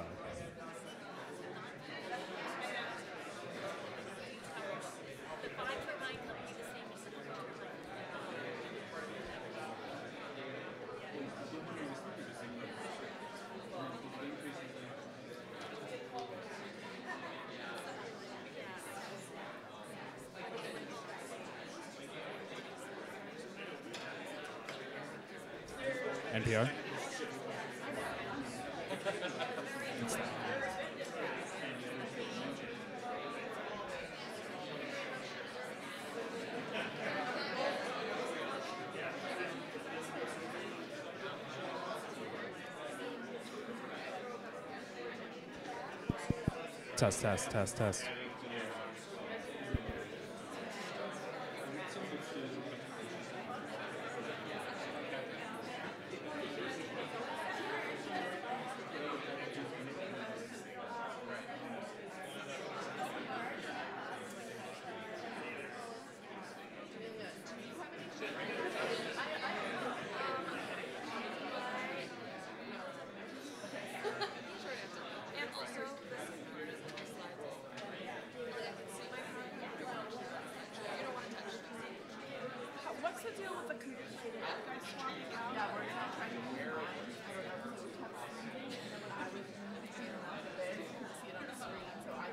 Test, test, NPR, test, test. Yeah, I know. I mean, we all. Um, I, I, the one thing I wanted to tell you about Mike is um, it's not supposed to be a bunch of presentations, but Dave Monson has slides. I, I, I got. Okay, so so um, because he's really popular, I'm probably gonna have him. But then what we can do, I guess we just have to see the information. So I'm gonna, you can meet when he shows up, and we can, we can go. Just, just so that there's something up there. Yeah. Have like fancy draft.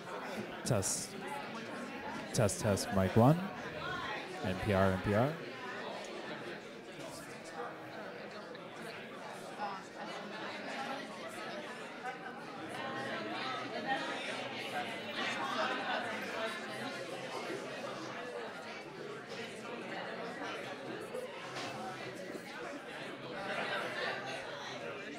Test, test.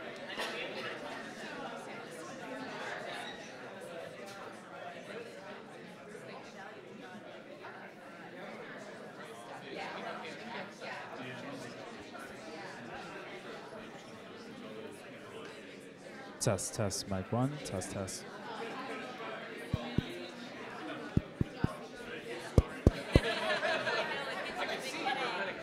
Test, test, mic one, test, test.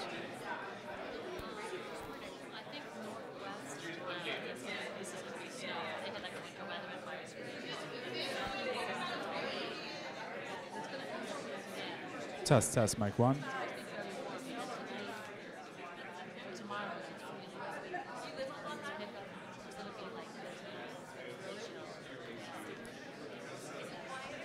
Test.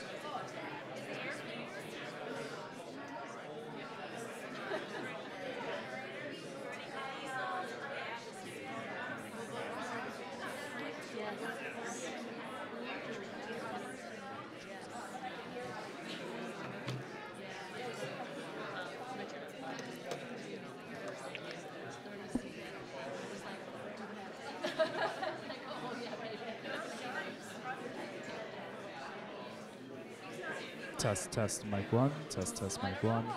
NPR, NPR.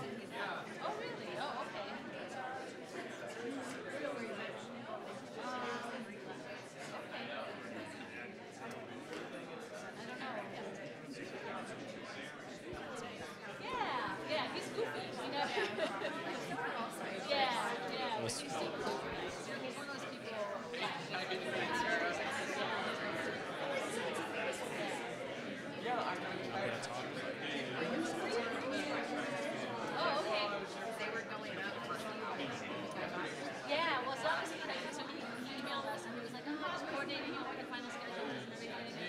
And then he's like, oh, and by the way, I'm coordinating our night before. And I was like, oh my god. He's like, so I probably have to go into Wellington. I'm like, how far is that? And, you know, like, you know, mobilize the ship and stuff. So maybe he gets with me. Yeah, I didn't, I didn't Test, test, Avery.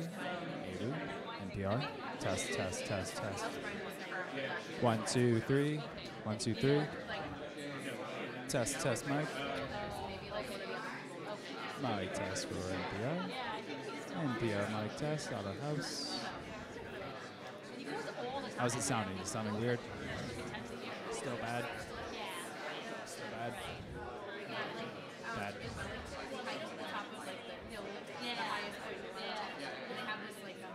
How about now? How's it sound? Test, one, two, three.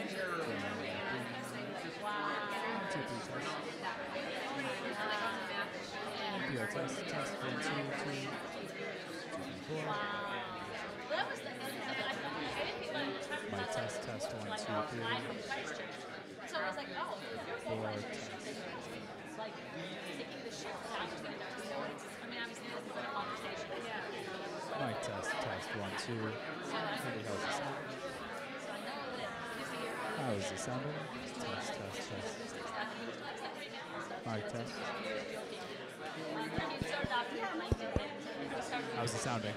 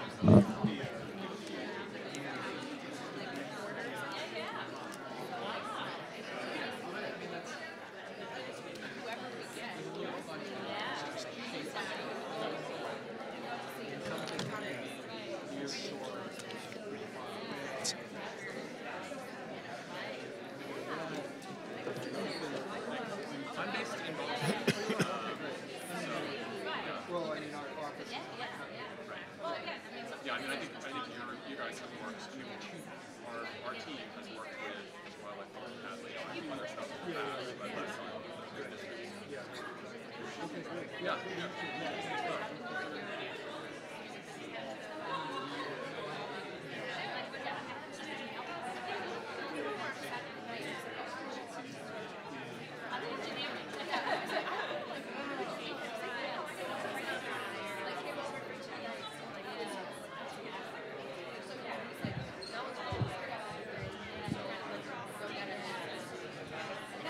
Test, test. Mic audio. Test, test, test, test. Test, test. NPR testing for science.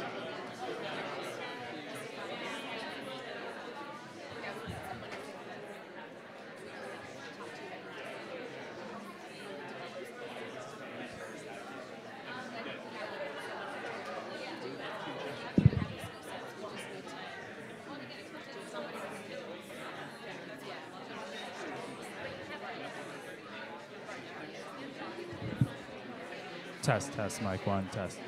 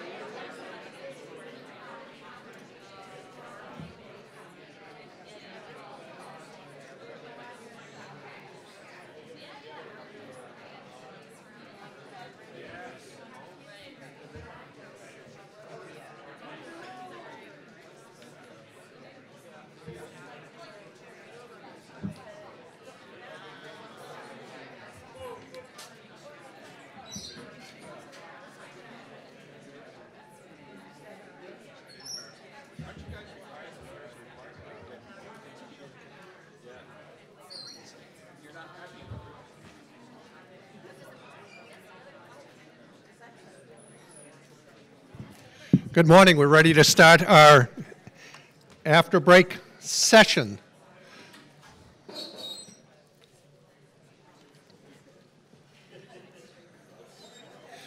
All right, so this one is briefly titled Birds and Bats.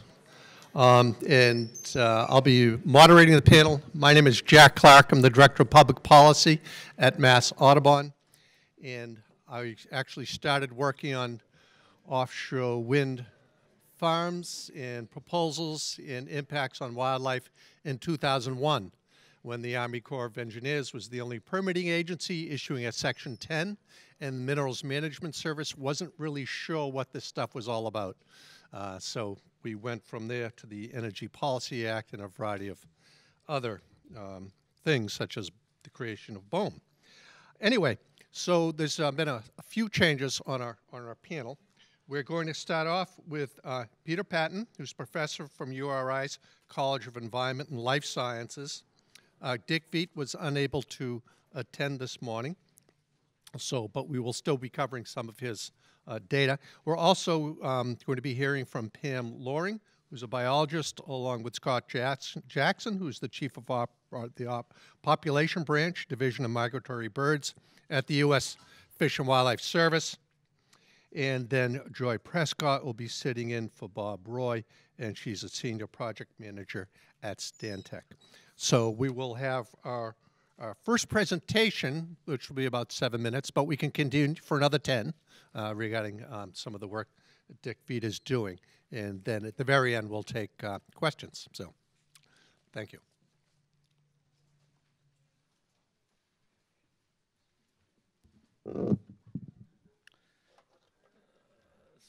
Good morning. So uh, I was going to just do a little background about uh, um, what we know about the potential impact of wind turbines on birds and bats. And most of this comes from work in Europe. So there's three factors that ornithologists are really consider, uh, were concerned about. Collision mortality, displacement of the birds from, from foraging habitat and roosting habitat, and the barrier effects that wind turbines um, can cause in terms of local flight patterns um, and regional migratory flights. So when you think about uh, wind turbines, everybody the general public thinks about collision mortality, and this comes from Altamont, uh, which has about five to 7,000 wind turbines in California. There's a major problem there with collision mortality, particularly with raptors. About 100 eagles are killed per year, lots of red-tailed hawks and burrowing owls too. Um, that led to lawsuits by the Golden Gate Audubon Society. Um, there wasn't much planning that went into the placement of this, this wind facility, and there's lots of changes being made to replace a lot of these turbines that cause major mortality events for birds.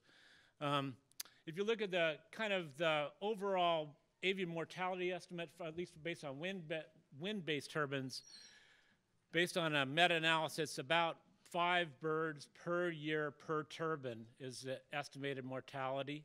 Um, some turbines can be much higher than that, but overall annual.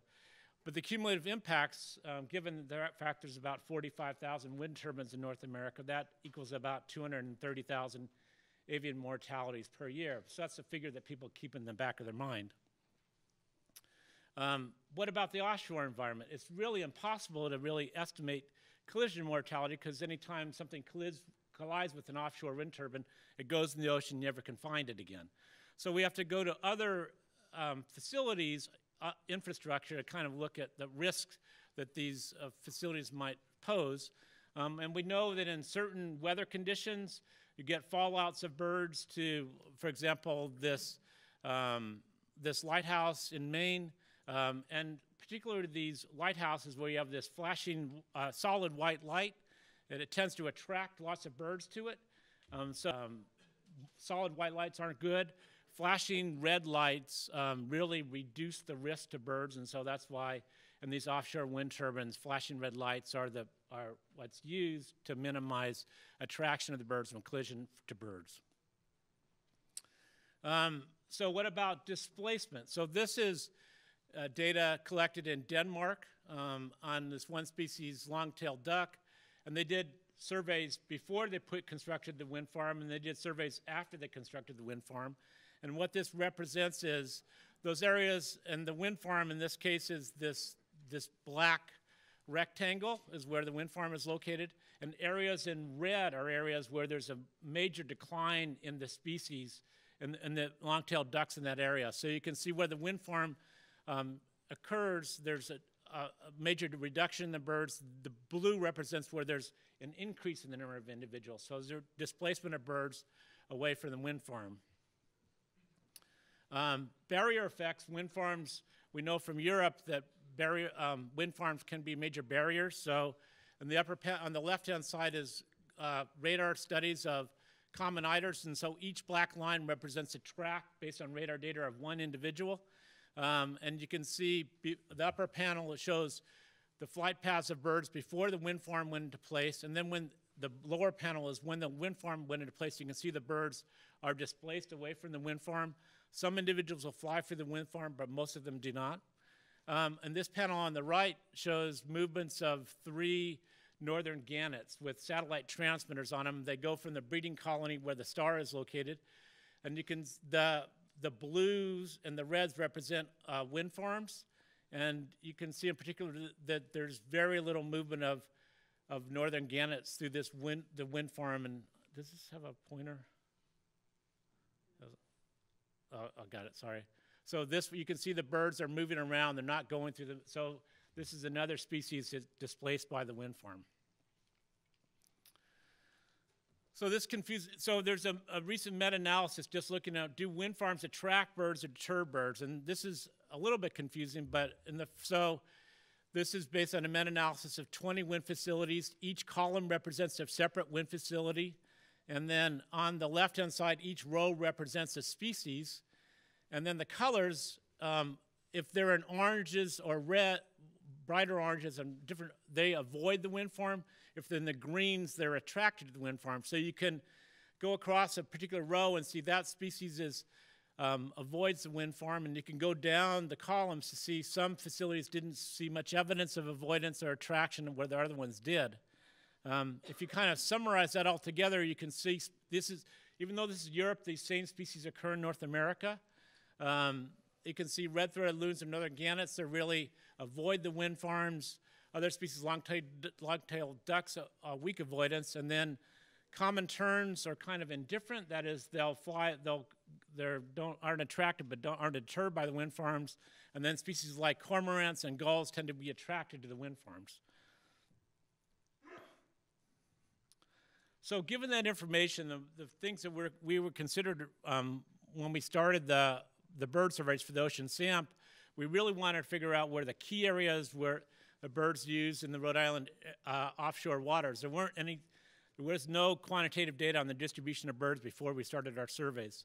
So we first started doing ship-based surveys um, in throughout 2009 and 2010 um, in these grids, and then we moved to aerial surveys to get a, a complete coverage of the um, ocean SAMP study area. So we did 41 flights over a two and a half year period over these, these transects. So it's about 30 miles offshore. So we can got complete coverage of the, of the study area. And then what we did was, so the, this is the modeling process they went to to come up with the distribution maps for birds in the study area. So this happens to show the distribution of common loons. So we have the locations where birds were detected we went through something called the distance framework to figure out the probability of detecting birds. Um, then we uh, estimated the density of birds in those segments.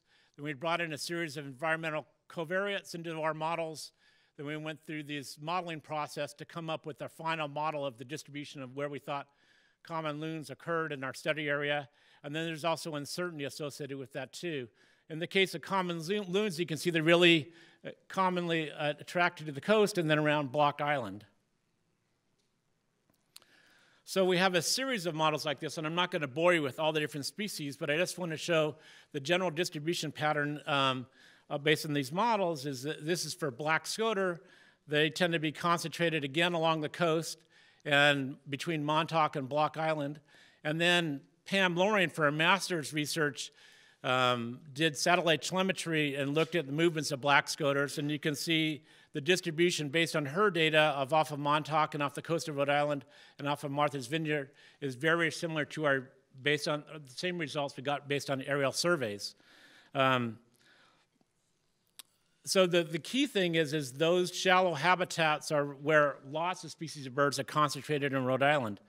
And that led to um, the, based on the, the ocean SAMP, these surveys, there's no turbines in Rhode Island that are allowed in waters less than 20 meters deep. Um, so that's in key, that's protecting key foraging habitat for sea ducks and loons and other species of marine birds. So, um, so based on all that, we have the, um, the wind farm. And so what are some of the important take-home messages from our surveys? First of all, those fine-scale pre-construction surveys are critical to, to finding an area that minimizes impacts um, to birds. Um, and you need data collected over multiple years. We, we in our case, we collected over three years because there's lots of annual variation. Um, so to get a good handle on where the birds are using, you need those multiple years of data. Um, and then the post-construction surveys, which we just talked about, are critical, and that's what the other speakers will be talking about. So, thank you.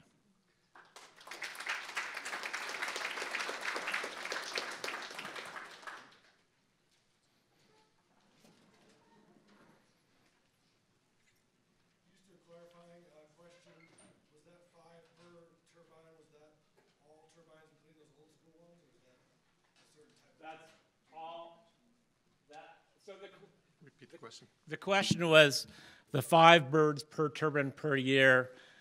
That's averaged over all turbines.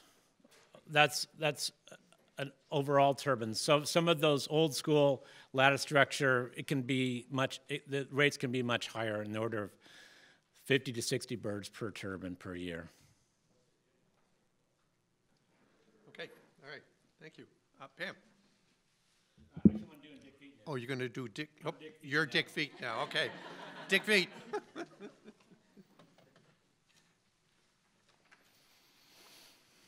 so the next speaker is Dick Veit, um, who's done lots of research off of Massachusetts, and um, unfortunately he couldn't be here today, so I'm standing in for him um, and his colleagues. Um, so he's done a lot of offshore surveys, well, for a long time, but what I'm talking about today is some of the, this aerial survey work that he's done off of Massachusetts from 2011 to 2015. Um, so in their case, just as I just showed for Rhode Island waters, um, he also did a series of aerial, these are based aerial transects. Um, and these transects, you can see the paths of the plane that they were done. Um, and so uh, similar survey uh, methods that we did. So we really, and the gray area represents the lease block areas, um, and then some of the areas under consideration too for turbines. So we really wanted to get some handle on the distribution of birds that are using these key areas. Um, so he wanted to quantify the distribution and abundance of seabirds, particularly off of Nantucket and Martha's Vineyard, um, and the, the, particularly the, low, the gray area, which is the BOEM lease block. Um, and he was very interested in seasonal, seasonality, which we also did too, and year, yearly variation. And his key point was to really identify those hot spots of seabird abundance, which we did too in Rhode Island. Um, so his results, he found, based on all this area surveys, he found two key areas. Nantucket Shoals, where long-tailed ducks, white-winged scoters, terns uh, congregate um, Muskeget Channel, where loons, black scoters, and common eiders and terns also congregate. So here's the, the two areas where, based on all this, the data, where these hot spots really occurred. Um, so Muskeget Channel is a, is a key area, um, and also Nantucket Shoals that I just mentioned a second ago. So one of the things is he was trying to quantify seasonal variation, and you can see that for white-winged scoter, which is a type of sea duck, um, particularly during the spring, you have large numbers of um, white-winged scoters congregating um, in these offshore areas.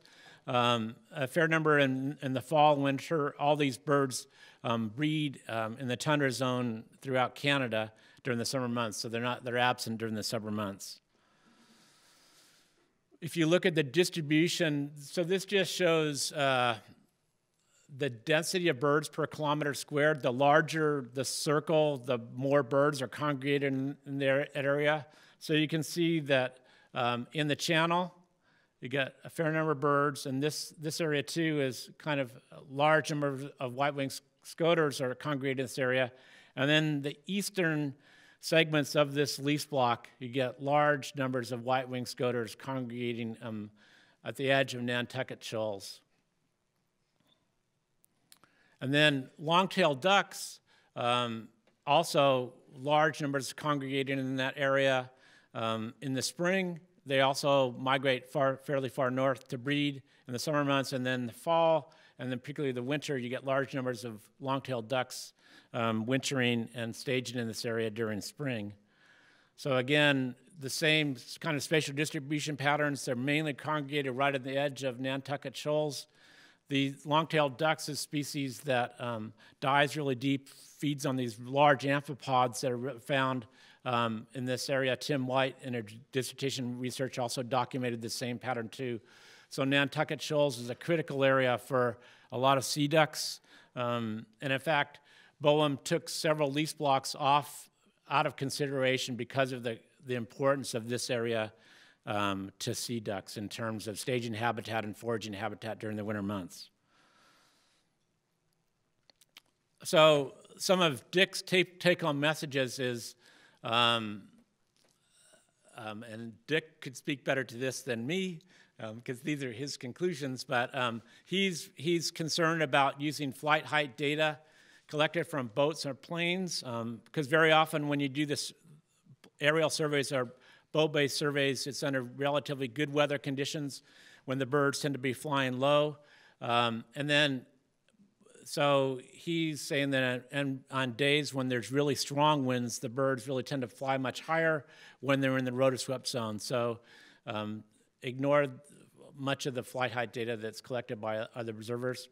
Um, and then his key point is um, when you're presenting data for the distribution of birds, it's really important to include the raw data, the distribution in our reports as he presented in his report. Um, and his point was that arbitrarily conducted ocean data um, can often bias the results for actual distribution of seabirds. So I know that I talked to him about this latter statement, and he was concerned about some maps that have been created based on models um, don't really show, show, biological reality, what the distribution of birds are showing. So he was concerned about some of the current models and distribution maps that are being created by some user unknown groups, un unnamed user groups. So thank you.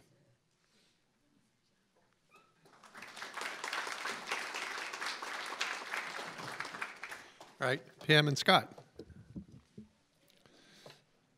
Tag team here, you guys can.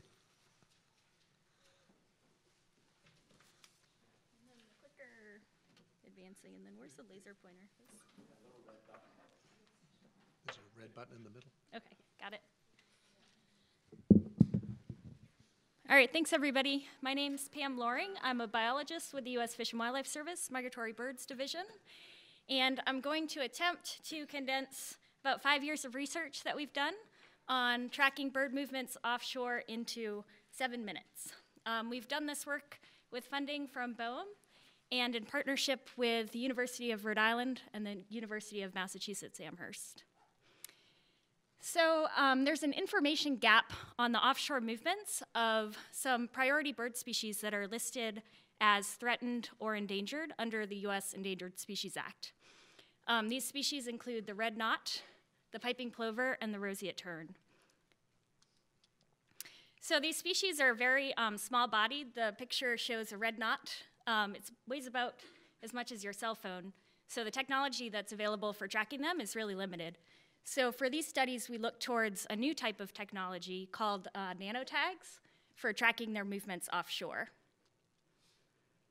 So um, there's a picture of a nanotag on the far side of the screen, and you can see it relative to um, a penny. So this particular model weighs less than a gram, and it has um, a body of a transmitter that we attach to the back of the bird in between the wings. and it has a long antenna that emits signals on a VHF frequency about every five seconds. So to track those signals, we set up um, arrays of highly directional antennas. So this is an antenna array that we set up um, in partnership with the Southeast Lighthouse Foundation on uh, Block Island, right on the grounds of the Southeast Lighthouse. Um, it's 40 feet tall, and it has six antennas um, on top in a radial configuration. Um, those antennas can detect signals of nanotags within about a 20 uh, kilometer radius from the tower. And the signals are logged by a receiving unit that sits at the base of the tower. And it's solar powered, so it can run uh, 24 hours a day, seven days a week, around the clock. So this map shows our study area. We set up a total of 35 40-foot antenna towers from Cape Cod, Massachusetts, all the way down to Back Bay, Virginia. And the locations of those towers are shown as the black points on the map. And then the different colored polygons show the different um, lease and planning areas throughout our study area. So I'm just going to give a quick overview of the key findings of our three focal species. Um, a little background, the red knot is a highly migratory shorebird. It breeds in the high Arctic regions of Canada and passes through um, the Atlantic coast during migration. We did all of our work during fall. Uh, during fall migration, it heads to staging areas, um, primarily in the Cape Cod uh, region of Massachusetts. And then there's two different wintering populations, one that's shorter distance that goes down to the Caribbean and southeastern US, and another that's longer distance that goes to sites in Brazil and as far south as um, Tierra del Fuego in the southern reaches of South America. So we tagged um, a total of 98 red knots on Monomoy National Wildlife Refuge uh, off Cape Cod and Chatham, Mass in fall of 16, and we got good data from 76 of them. So this map shows um, the routes that those birds took during their staging uh, period after we tagged them and as they departed on migration. So we found that um, over 90% um, of the knots took an offshore route, likely heading towards Brazil as they departed from Cape Cod. So they headed straight southeast from Cape Cod over the open Atlantic Ocean.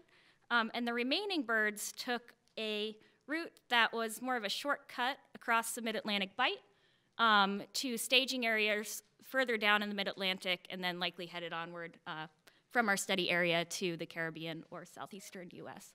So we found a higher um, exposure to these wind energy areas from the shorter distance migrating red knots relative to the long distance knots that were heading to Brazil. And again, we conducted this work during uh, fall migration only, so it could be different as they head north in the spring. Um, our next species uh, that we looked at was the piping plover. So the piping plover um, is a shorebird that breeds along the Atlantic coast of the U.S., including right here in Rhode Island uh, during the summer. And they migrate uh, to the wintering areas in the southeastern U.S. and the Caribbean.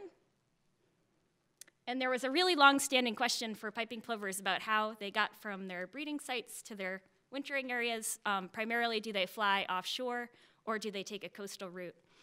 So we tagged birds um, in both Massachusetts off of Cape Cod and in Rhode Island. And this map shows the migratory routes of um, 28 piping plovers from each tagging area. So the birds in Rhode Island are shown in green, birds in Massachusetts are shown in red. And we found that although some of the piping plovers appeared to hug the coast as they headed south, primarily from nesting areas in Rhode Island, many of them were quite willing to launch um, straight across the ocean in that shorter distance, but potentially more uh, risky flight crossing the open ocean to get to staging areas down in the mid-Atlantic. So this is really pretty exciting information for these, uh, this species. Um, the last species that we looked at was the roseate tern. Uh, the roseate tern is an endangered seabird that nests in islands um, throughout the north, northwest Atlantic and pretty select um, nesting areas. And they winter down in uh, South America, in Brazil, and um, down towards Argentina. So the roseate tern um, always nests in association with a non-federally um, listed but very similar species called the common tern. And folks that are um, from the fishing community here probably recognize um, these uh, species of seabirds because they often associate with striped bass and bluefish off our coast in the summer.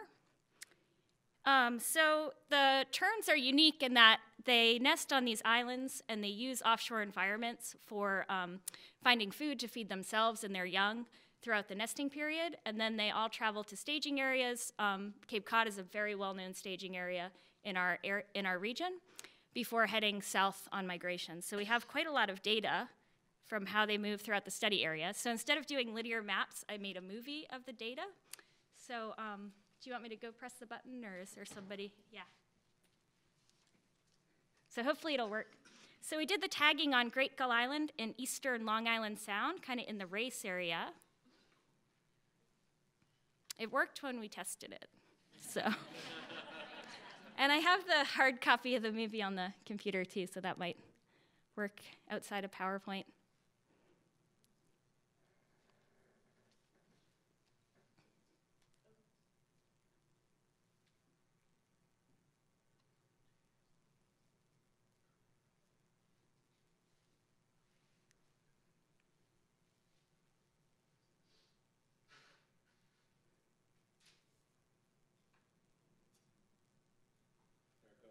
All right, perfect. So during the breeding period, when we tagged them, they had chicks, and they spent a lot of time traveling from sites uh, ranging from the nesting colony all the way out to Block Island, which is about 50 kilometers away.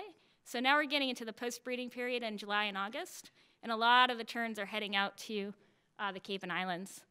Um, so there's really important sand lance resources just right off Cape Cod, and it's thought that uh, most of the terns from the the nesting populations um, throughout the northeast stage on Cape Cod before heading south to Brazil. So we have a lot of movement data on our, on our focal species, which is really, really exciting. Um, and currently we're doing a big analysis on um, offshore flights relative to covariates that are um, important for looking at exposure and collision risk modeling. So those include the altitude of the flights, which is data that we can model from the signal strength of the, um, the transmitters as they're flying through our array of receiving stations. We're looking at timing of flights, both um, during the day, are they occurring primarily by day or night, and throughout the course of the um, season. We're looking at demographic information from our tagged birds, so age, sex, um, reproductive success, and we're looking at a variety of weather covariates that associate with um, collision risk modeling. So um, are they flying during good visibility conditions or during fog, um, during stormy weather, during nice weather, and things like that. Um, so another exciting um, expansion to this project has been the installation of a new tracking station right on one of the, the turbines off of Block Island. So this is a picture um, of John O'Keefe of Deepwater Wind uh, installing antennas on the, on the turbine foundation. So we're super excited and grateful to be partnering with Deepwater Wind on this effort. It's a project that's really spearheaded by URI, and um, the, the installation was done this fall, and we've actually done some calibration flights where we took out a boat, we flew a, a fishing kite um, from the back of the boat that had a transmitter attached to it. Um, so we have a lot of data on what the signal strength looks like around this station that will be um, used in our modeling efforts. And we'll be, we, be doing a lot more of that uh, starting next year as well. So thanks everybody and look forward to the questions in the panel.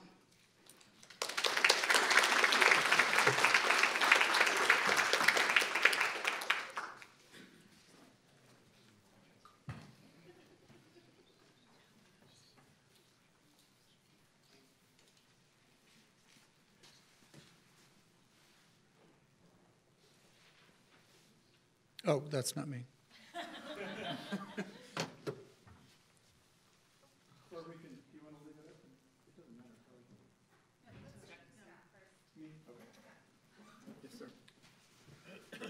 So uh, my name is Scott Johnston. I'm with the U.S. Fish and Wildlife Service in the Division of Migratory Birds. And, and uh, just a couple of uh, quick comments, I think, before I start is um, I think Peter did a great job, I think, of exploring uh, a lot of the issues that, that we've learned in, in Europe. And so trying to then apply that on our own coast is, I think, a part of what um, you know, we've just been uh, presented with here um, so far. And then even going further with uh, some of Dick Veit's uh, conclusions about uh, you know, which um, you could take as, as uh, don't rely on, you know, one uh, method of, of, of research. And, and so I think that's one of the things that, that we just uh, heard Pam talk about is, is uh, it, you know, in addition to the boat-based, aerial-based surveys, now we have nanotag. I'm going to talk about uh, one other project and then also a database that we're working on. And so um, what I also want to add to that is that that's something that we've been working with BOEM for uh, many years, over 10 years now. We've had a great collaboration with them. And they've listened to, to these issues. You know, when it first, uh, when offshore wind first started to be uh, discussed, you know, we, we had a conversation with them and said, we don't really know a lot of what's going on with, uh, with birds um, in the offshore environment. And uh, they were very willing to help, and they've just been uh, tremendous partners uh, of ours. So I mean, a huge, a huge thanks to uh, to BOEM, uh, I think, for that collaboration. It was kind of funny because listening to all the presentations yesterday, I thought we had a very special relationship with BOEM, but apparently we're not the only ones. So I'm, you know, I'm not feeling quite as special as I as I. Uh, as I as I thought I, I, I was, but I don't feel betrayed. But it's you know, uh, it, it is what it is. So, uh, but it, it, obviously that's that's wonderful to uh, uh to see that, um, and uh, it's been extremely uh, fruitful on our part.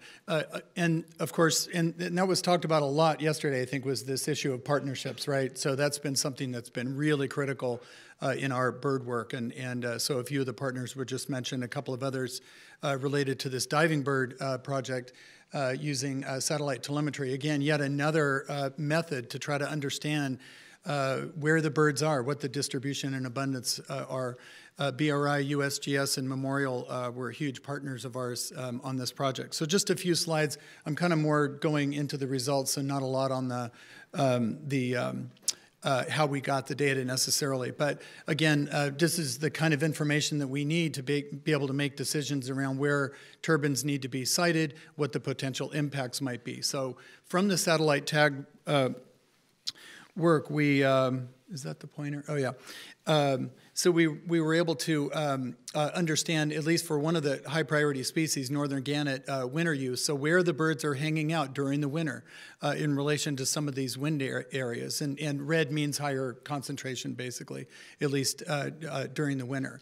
So these are uh, these are some of the areas you can see. Uh, all their breeding areas are up uh, off of Newfoundland, and so this is where they're they're spending their winter. There's substantial population that goes down into the into the Gulf as well. Uh, surf scoter, one of the other uh, species too. Here's the uh, distribution then uh, during winter again, and, and again eh, how it's. Uh, by the way, um, I don't know if we saw a lot of data with some of the other species, but um, huge numbers uh, of birds that are going into the bays during during winter as well. Not an issue, obviously, for offshore wind, but certainly a, a huge conservation issue as we're studying um, studying these species. But you can see um, the uh, the winter use for at least uh, the shorebird or for the uh, for the scoters. I work on shorebirds too, so sometimes I get caught up in calling a marine bird a a, uh, a shorebird. Uh, nobody else probably cares about that. Um, so that's like a real bird thing, isn't it? Yeah, they're all like that's kind of ridiculous. Um, so the other, um, the other part I think that's uh, that's really critical about uh, about this work, in addition to the the nanotag, is that it does give uh, you an idea of what not only what the winter use might be or uh, breeding uh, uh, use of, of an area, but also what the migratory patterns might be. So at least for northern gannet in the fall migration, here was some heavy use that we found again um, as a way to um, to try to determine. Uh, where they're where they are and where the uh, potential um, potential impacts might be. And then uh, let's see, I think I'm ending with a. And then this was a, a really cool one uh, for the red-throated loon. Um, is a, a, really interesting distribution just from kind of a, a cool uh, thing similar to red knots being able to fly. What was it? Eight days straight. I think they can migrate all the way down to Tierra del Fuego. Amazing. They weigh as much as a cell phone. Well, similar here with the red-throated loon. Again, um, you know, uh, migratory patterns. We're seeing them largely hugging, you know, relatively close to the. Um, uh, to the coastline, but then once they make you know, there's a little bit uh, across um, uh, across the uh, mid-Atlantic here, straight up to their breeding grounds uh, up in the Arctic uh, Canada. Uh, but here's a um, here's a, a really interesting to see um, how widespread some of these birds are. Uh, the, you know, we tagged all these birds down in the mid-Atlantic, and here's one that went up and, and bred in Greenland too. So the conservation issues that we're facing or, or that we're discovering is, is, is really quite, quite remarkable. And then uh, the last thing I wanted to talk about then is uh, so where does where does all this information go? And I think we in the last panel I think somebody was accused of having a bunch of files down in their basement. Well, this has been a, a long uh, long uh, concern of ours and and BOEM's, uh, where we wanted to make sure that all the data that we had on uh, water birds and, and, marine birds could be put in one central location. So we, uh, we developed what's called the Northwest Atlantic Seabird Catalog. And this is a catalog of all the information that we've been able to get. And literally, we have gone to people's houses and uh, offices and grabbed cartons out of their basements, many of them clinging you know, hard to not losing their data and be able to put that into the um, uh, into this uh, database, and, and BOEM has been supporting a couple of positions to um, a database manager and then also a statistician for uh, for several years. Um, so, the, and uh, also of note here is that we're not just uh, uh, putting in bird data there with um, with particularly with the aerial surveys. we're seeing a lot of other, or we're recording um, other um, other observations, including marine mammals, sea turtles uh, bats, uh, bugs, which is a technical term, uh, boats, and uh, marine debris, uh, which uh, actually a lot of their, maybe that's true for other people that are doing observations, we're seeing a lot of marine debris, particularly balloons, for example. Um, so that's something we're, um, is a part of the database as well. Um, so we've already talked a little bit about how some of the, the data is collected, and again, it kind of goes to that issue of multiple methods. And, uh, and so this is a, a little bit on uh, survey effort, and, and before anyone gets too concerned, uh, to think that, that uh, you know, birds only are distributed in, in straight lines uh, like this in the offshore. This just represents the, the, um, the track of a, of a boat where an observation was made. I remember the first time I, I saw that, I rather stupidly was thinking, wait, I didn't think birds really occurred in straight lines out offshore. Are you, are you sure that's, that's correct? And they uh, so anyways this is a this is if you're uh, interested in a particular area then you can go after survey effort how much effort there was uh, what sort of survey effort it um, but either either boat based or or aerial. And then uh, not only is it uh, useful for offshore wind it's also critical to understand what the potential uh, impacts might be of, a, of, an oil spill too. We've used this uh, information down in, I think that's in South Carolina, isn't it, or North Carolina, um, of uh, sensitivity uh, for a potential oil spill. So there's a huge uh, amount of use uh, that can be made out of uh, out of the database. And I think that was oh yeah that's right. So then the whole idea then is to try to um, you know make an ob- or make an understanding of the distribution and abundance. So this is one species, a Cory shearwater, uh, where you can see the the distribution. Um, and let's see, I can't even remember if, if I, I'm gonna have to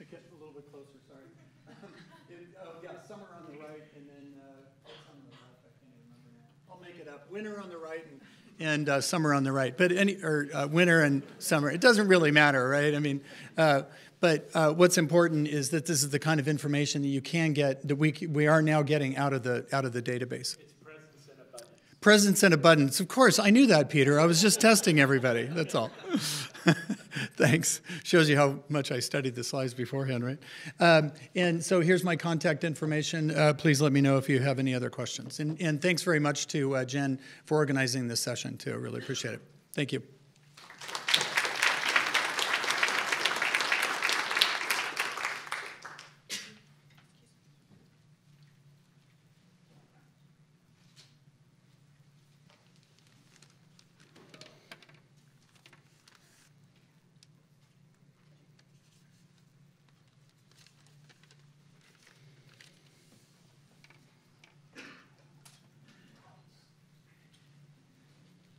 Morning. Thanks for having me. Um, Bob Roy wishes that he could be here. He had a family emergency that he needed to leave for, so I am filling in for him for this morning.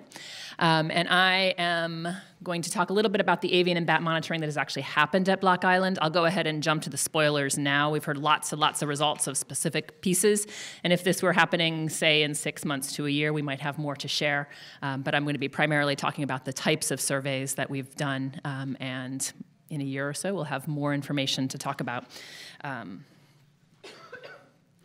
so if we look specifically at Block Island, the permits, the environmental permits were received in 2014, and much of the permitting was, not much of it, but certainly part of the permitting was based on some of the pre-construction surveys that were done um, based on the avian and bat surveys to inform what the potential risk was. And then the post construction surveys that are currently ongoing um, are informed by the conditions from the, both the Army Corps and the CRMC permits that were um, permits that were issued.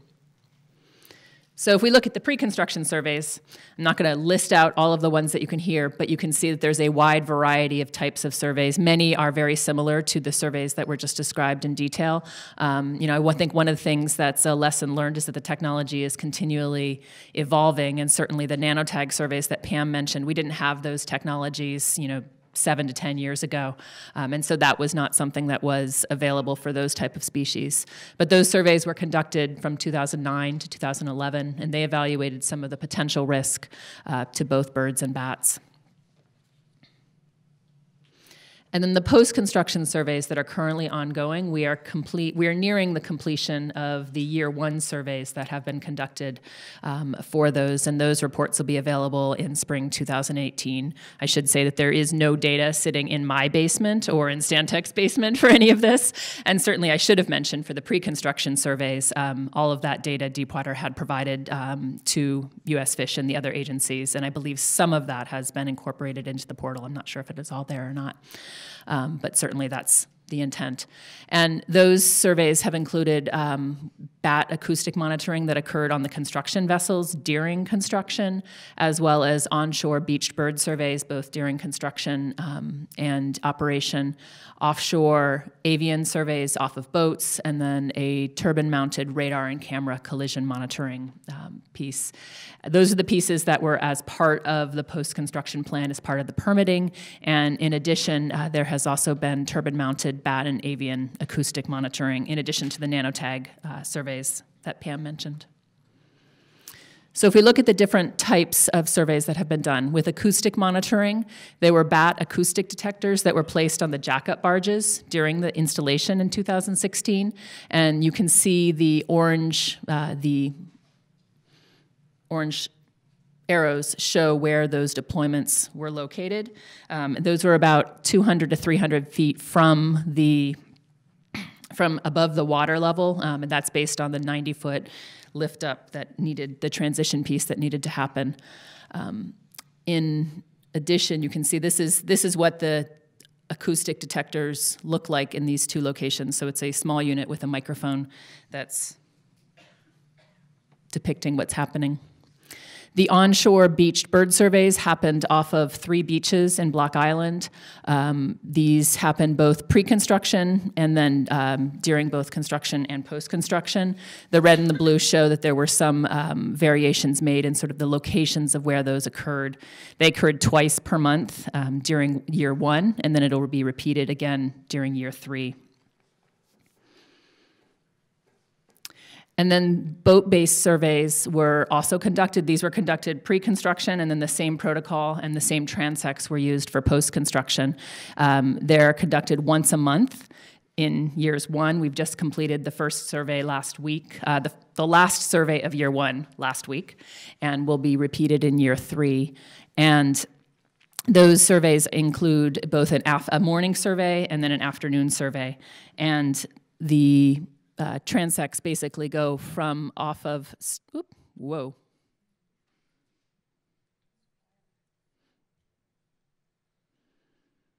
Um, starting off of Block Island, continuing through an area where there are no turbines, along the turbines, and then another area off the turbines. Um, so while it's not, I'm not sure that we would call it specifically a control area. It does, will, um, the expectation is that it will provide some information about any dif- uh, differences in abundance and distribution between where the turbines are located and where there are no turbines. Um, these surveys, very similar to the ones we heard about earlier, provide information about all of the birds that are identified um, in that area, and um, there has been no analysis yet. I should also mention that these surveys were conducted um, using a boat that's based out of Block Island, um, the, for both the pre and the post construction surveys, the Lindsay E. And then the other part of the post-construction program has been the collision monitoring um, and the avian radar system. And this is based on using what's called MUSE, or Multi-Sensor Wildlife Detection System. And that's a next-generation system of a system that's been used in Europe for several years at several systems.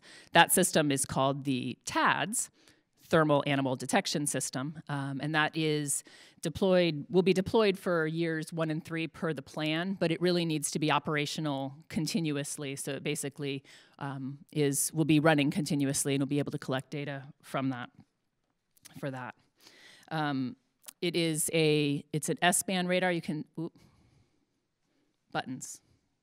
Um, it's an S-band radar that's located here, and then that operates as well a camera system that can both um, point, zoom, and tilt. Um, and so when there is a target that's detected near in the airspace, basically between turbines one and three, um, it can get additional information about that. Those files are then stored and can be analyzed um, in more detail to understand a little bit more about what's happening.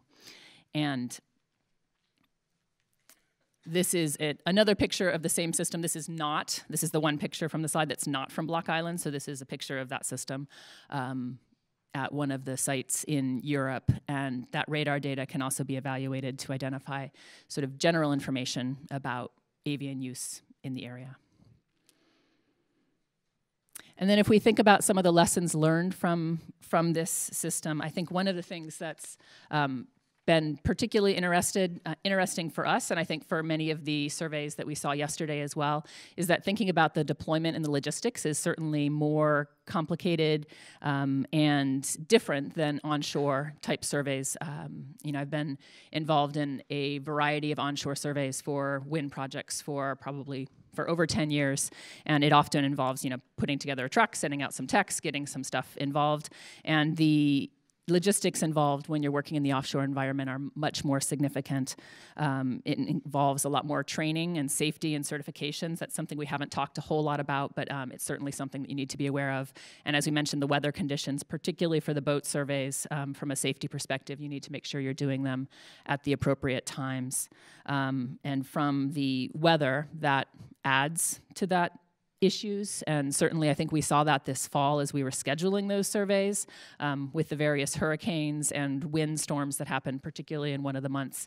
You know, we ended up having a very narrow window in which we could get those um, get those surveys done. And I also think we rec- we've recognized, and I think we have certainly appreciated that um, Deepwater has been willing to figure out how to make these turbines really a platform of opportunity for additional surveys. Um, we saw that with the nanotag surveys, and then you know we've also uh, placed acoustic detectors that are detecting both bats and birds on those turbines, um, and we'll have information about what that first year of, of uh, what that first year of data collection will look like, um, and that's certainly a um, a piece that will really become much more to come once we get those results from year one. So that's it. Thank you.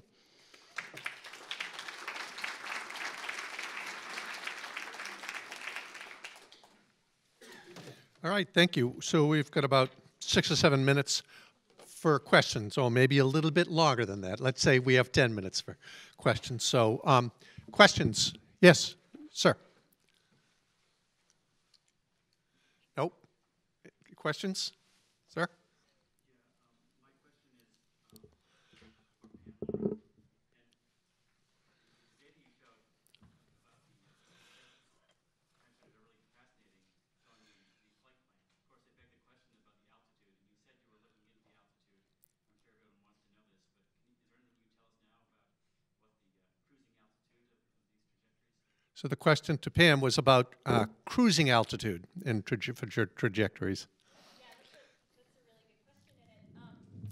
varies by species. So we know that the terns tend to fly at relatively low altitudes, um, below 30 meters or so um, typically.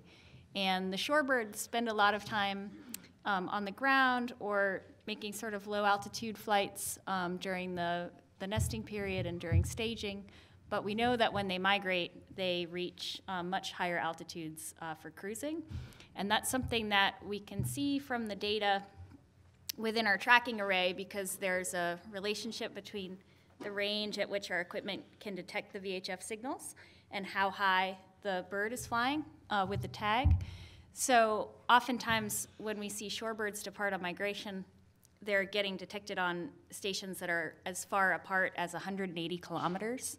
Um, so by sort of all the sites in the array. So we're working now with modelers um, at UMass Amherst and a new collaboration with folks here at URI to try to better describe that relationship. Um, it's very much a work in progress. The two-dimensional is much easier than the three-dimensional, but that will all be available in the final report.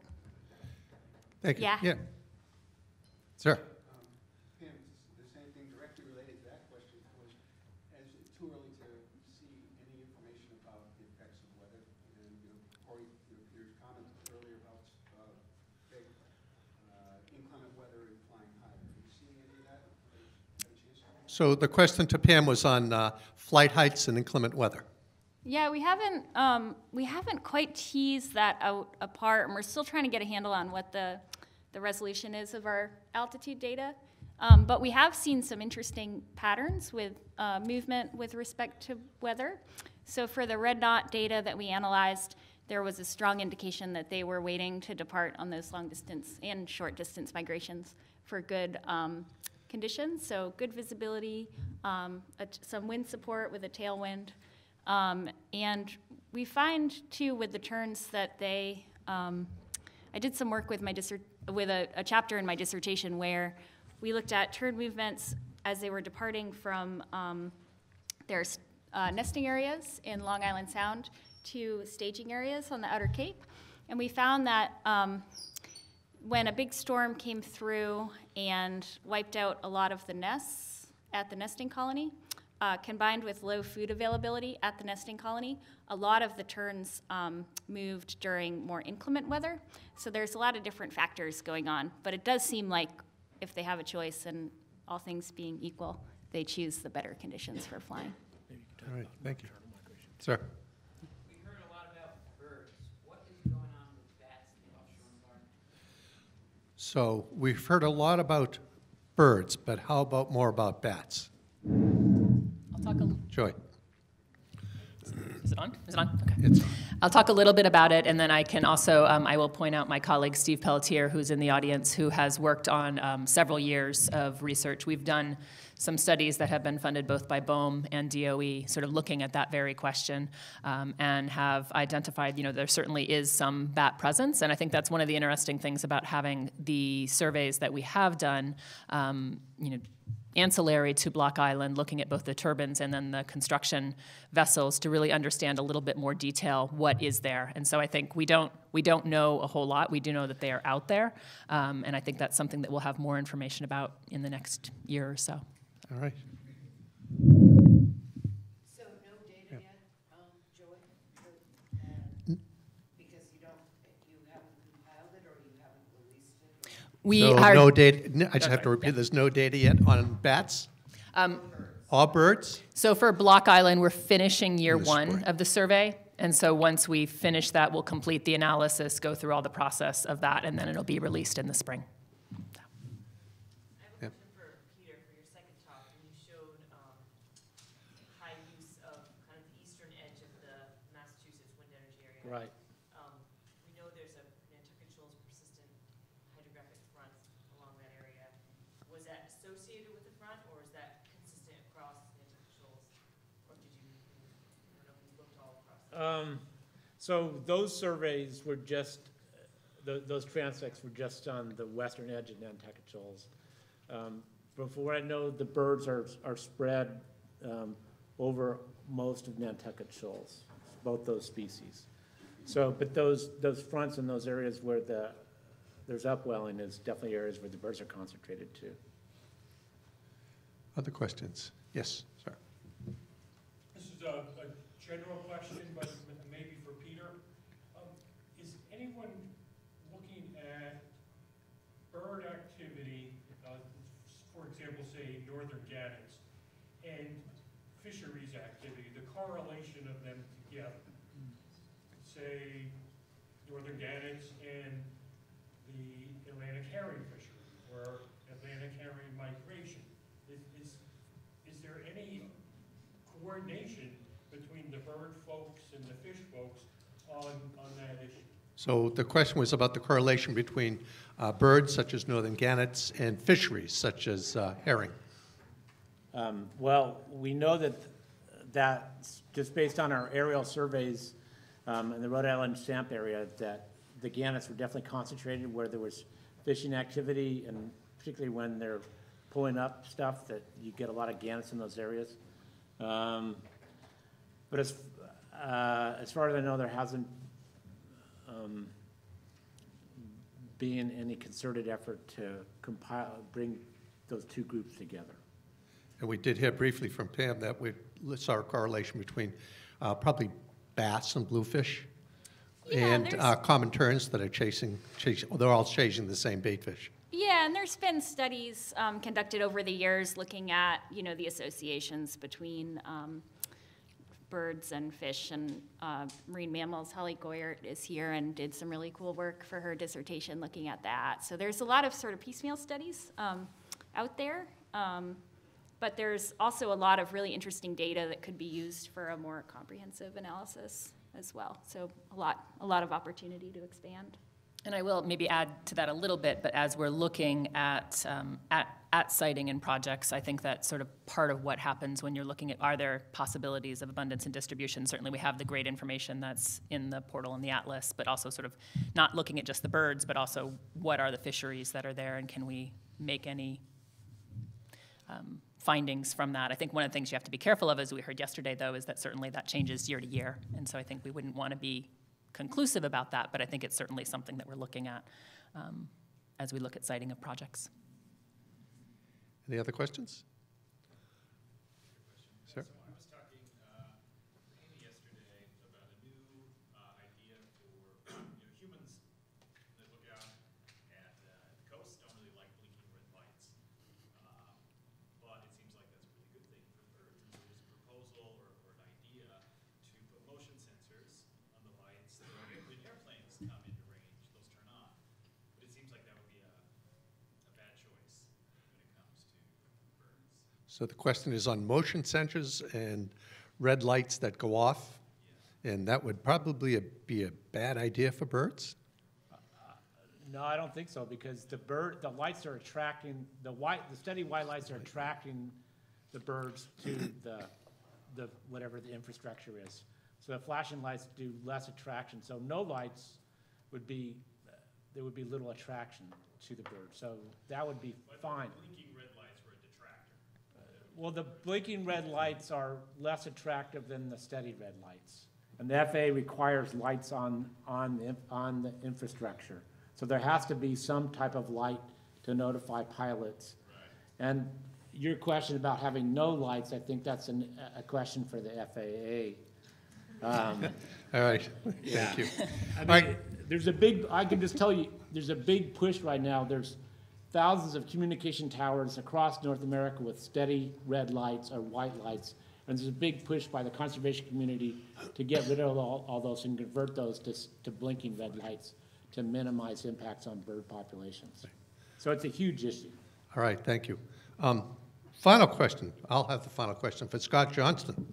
Um, We should have called this birds, bats, and bugs. You mentioned bugs, but you left it hanging. What about bugs in the offshore environment? Uh, Not my department. Okay, all right, thank you. Yeah, All right. Have no clue. Okay, thank you for all of our panelists. Let's give them a.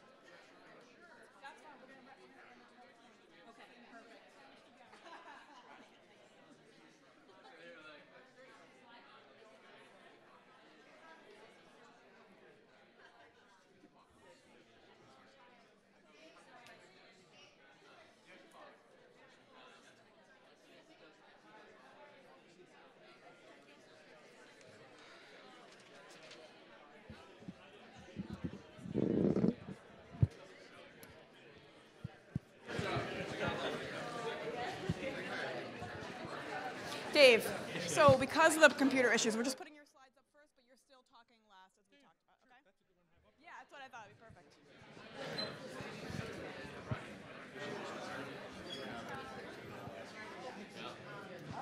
Want me to start? All right, you guys ready to go? All right.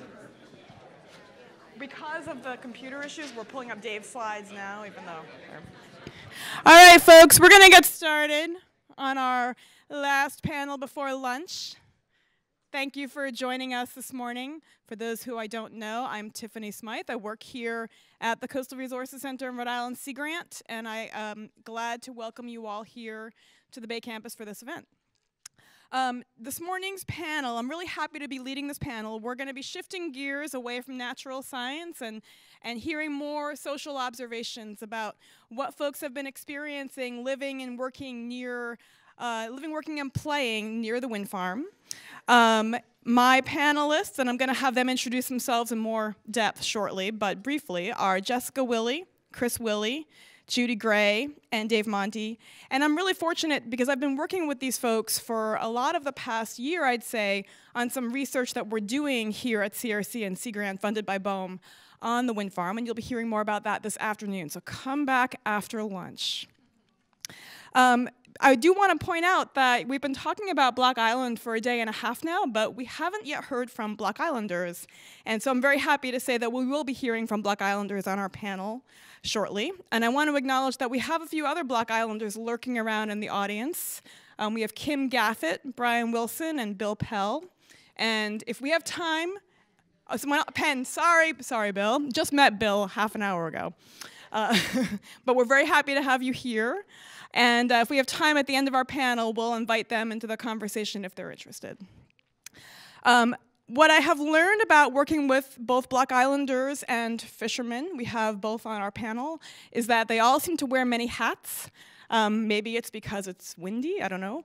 But because of that, I'm going to have each of them introduce themselves in a bit more detail and explain their various roles and affiliations um, and experiences with regard to the wind farm. So I'd like each of you to, um, in a moment, speak, uh, introduce yourselves, but then also share some of your initial experiences with the wind farm. We'll give each of you about five minutes to do that.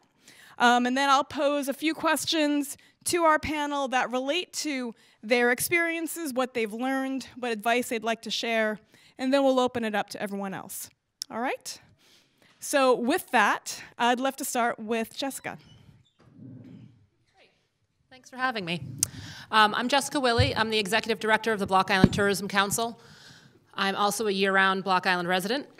I sit on the school committee on Block Island, and I'm married to Chris Willi.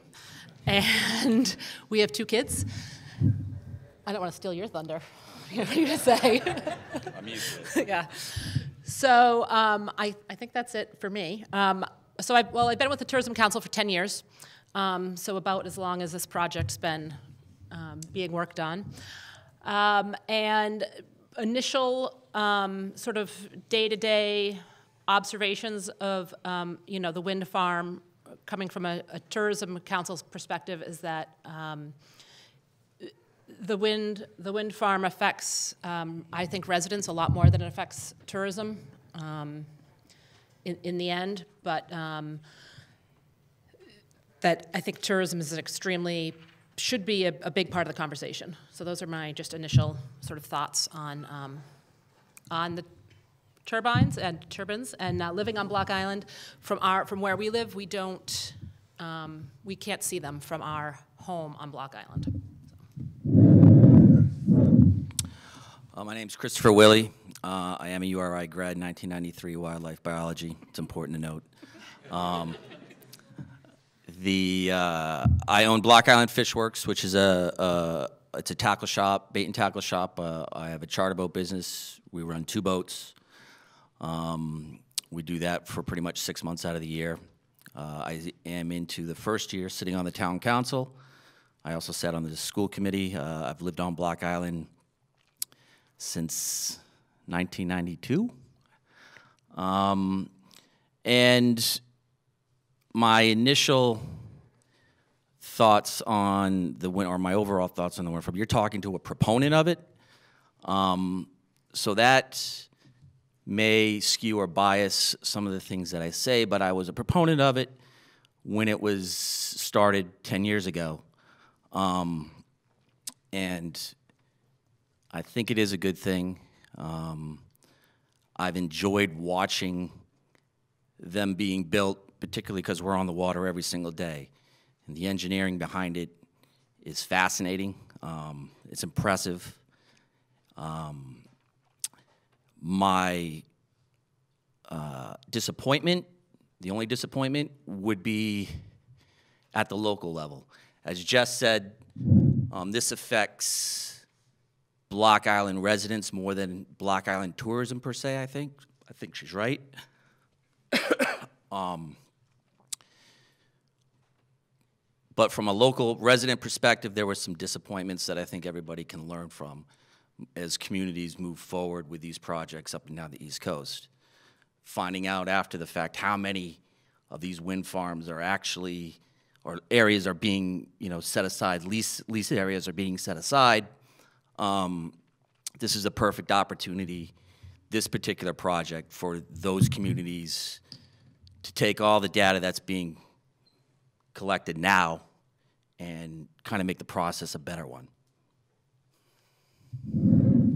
I should mention that Chris and Jessica just flew over this morning for the explicit purpose of joining us. So thank you for that. Hi, I'm uh, Judy Gray. I'm a uh, year-round resident on Block Island now. Um, I, I moved there in 2011. So I, and I'm the, uh, a retired meteorologist from the National Oceanic and Atmospheric Administration, mostly working on weather research. And I'm the vice president of the Block Island Maritime Institute, which provides educational programs for summer residents and student and uh, visitors.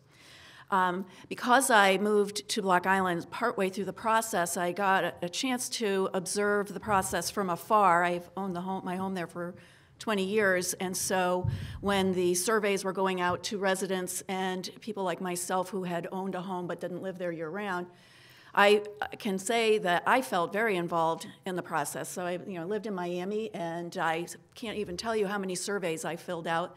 Seemed like it was the same one multiple times, but uh, uh, but happily uh, took every opportunity to participate in the process.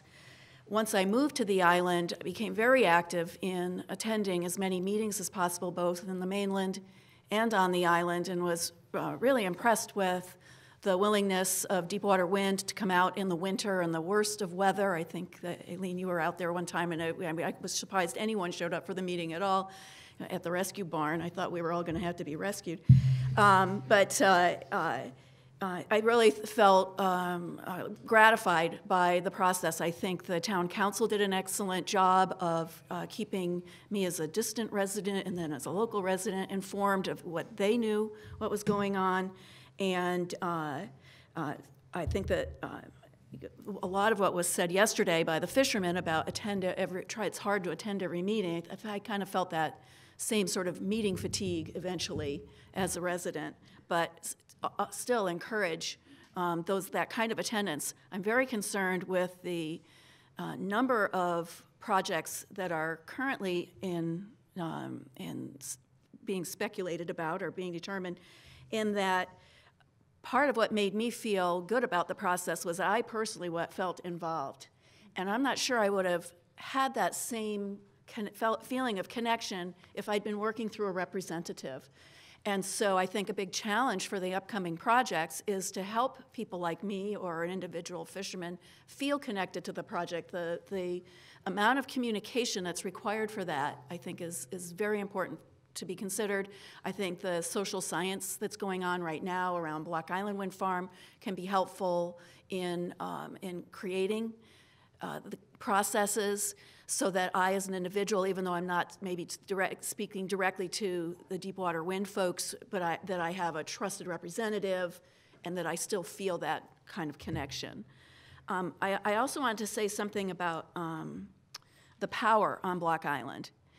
Um, one of the things that's really good about the Block Island Wind Farm is that it was a very small community that came out yesterday. Um, that we are very directly impacted. My electric bills have gone down. Can't speak for anyone else, but mine are lower. Uh, And one of the biggest financial impacts for me is that the power is clean for the first time. Um, appliances are becoming more and more electronic, and uh, so my washing machine, which is all mechanical, it, it, I mean, I'm never going to get rid of that thing It- because when the power was being generated by um, by the um, uh, generators, thank you. I, my clocks never kept time, and as I put new appliances into my home, they'd burn out in like five years. Uh, it's because of the electronics. And, and I, my dishwasher lasted less than five years. It probably was used 50 times. And, uh, and it, the guy who came in to look at it said it's cheaper to buy a new one than to replace the electronics on this older one. Uh, the other thing I really want to touch on is light pollution.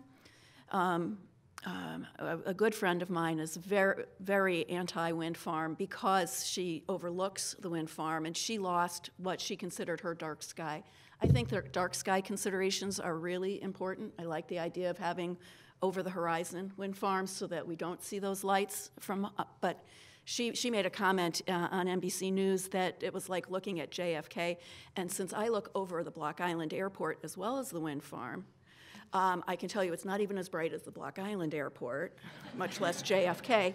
But I do think that these dark sky considerations are important for, to people, and it is something that came out of our community that I think is important to notice, to mention. Thanks, Judy. Go ahead, Dave.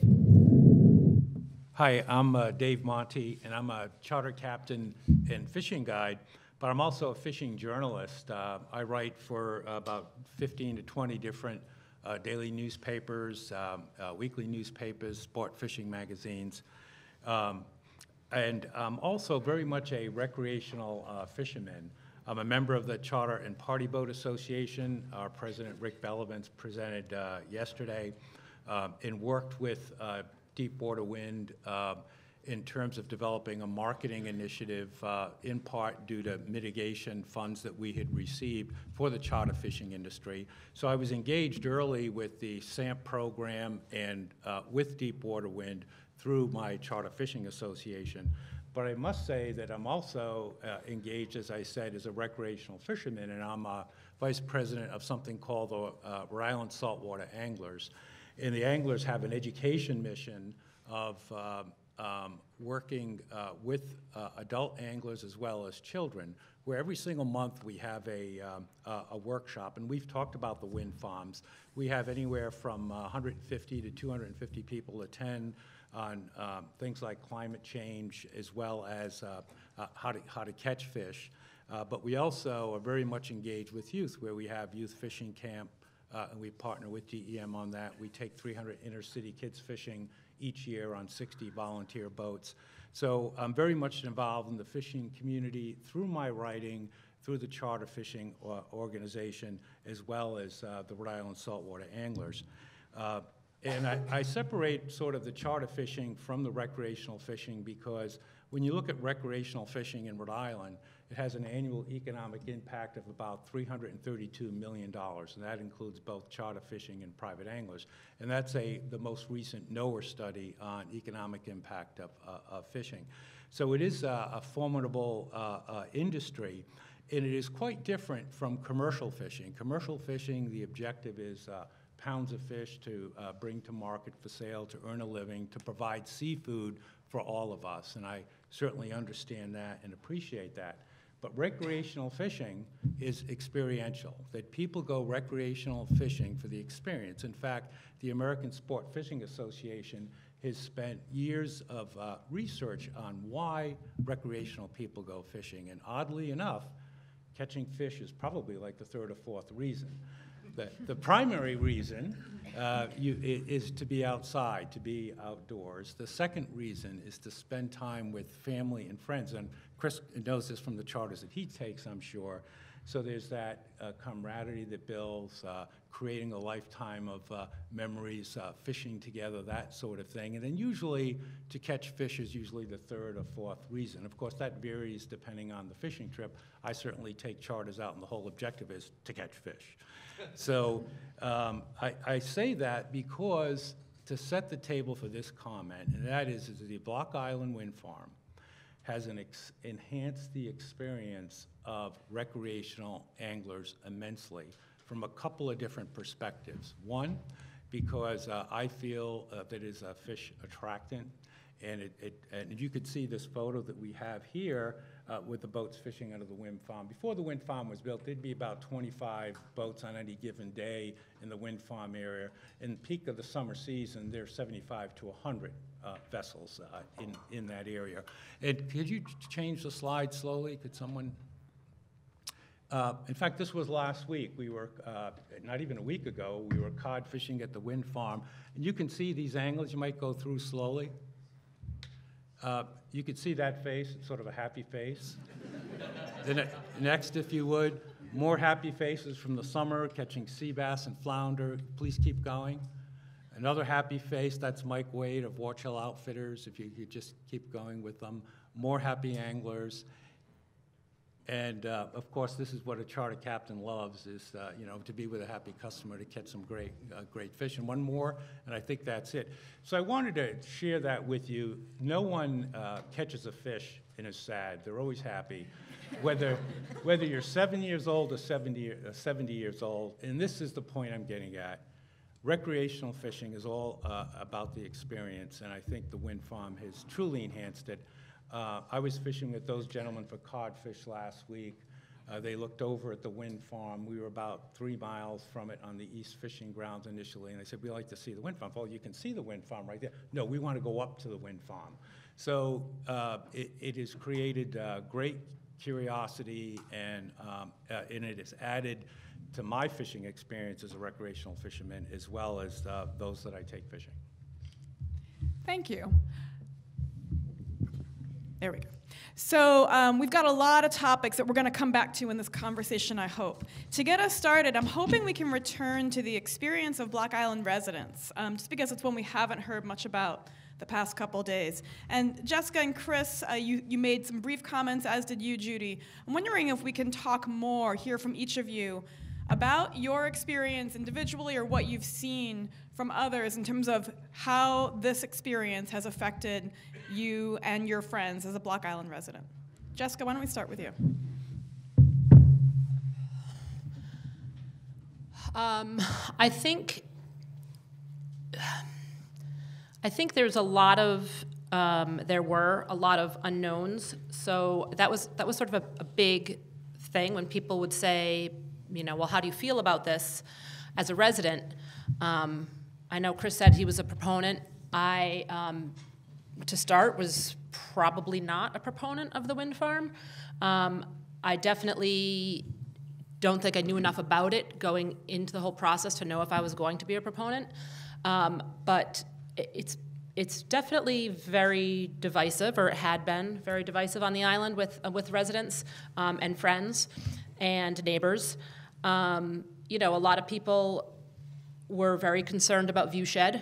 Um, a lot of people, that residents were very concerned about their power bills.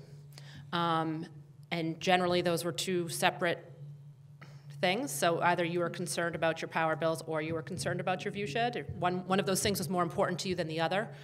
Um, probably you were concerned about your viewshed because you were concerned about your real estate. Um, but I think as a as somebody who lives on Block Island um, and and is you know affected daily, you know, by this, um, still a point of contention. Still, you know, there's still people who who really don't like them, and um, you know, and that's that's to be expected. And and I think it's important now that most people, I think for the most part, have you know they're there. We're learning a ton from them. We're we're learning a lot about process. I think there's a lot of things that could have been done differently. Um, as a resident, um, I I do think a lot of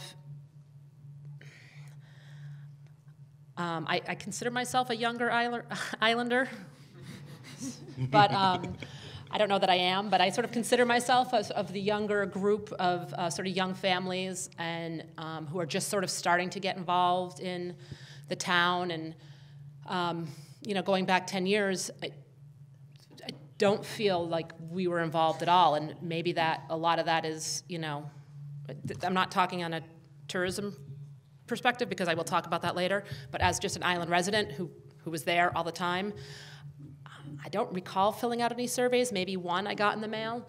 Um, I know I went to one meeting. Um, so I, I, I just think there was a lot of unknowns. Um, I don't think it's affected people as much as they thought it was going to. There's still a lot of confusion. People still don't know if the uh, is is the island actually being 100% powered by wind or is it not?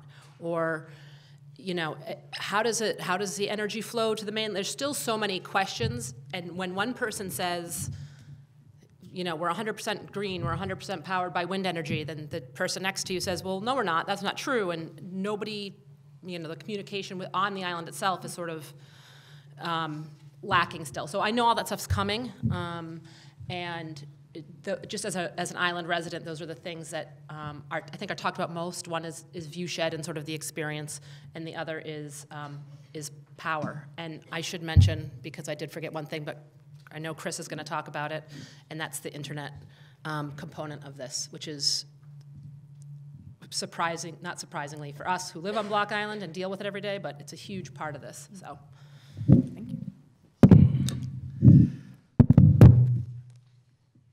like I said earlier, um, I was a proponent of of uh, the wind farm for a couple reasons. Number one, uh, just my education and core beliefs. Getting off of a million gallons of diesel to generate electricity on an island 10 square miles, for me, was a plus. We have a kind of you know, Block Island is very progressive in land conservation. Nearly 50% of the island is set aside in some type of preservation, which is for a community across America is, is rare. But on the flip side, our carbon footprint was, was big um, when it came to generating electricity. So alternative energies, um, I've, I've always been a proponent of.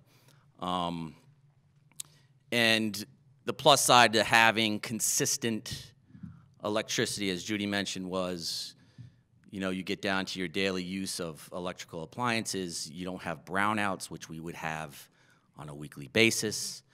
Um, and your, our electric bill for the time being has dropped.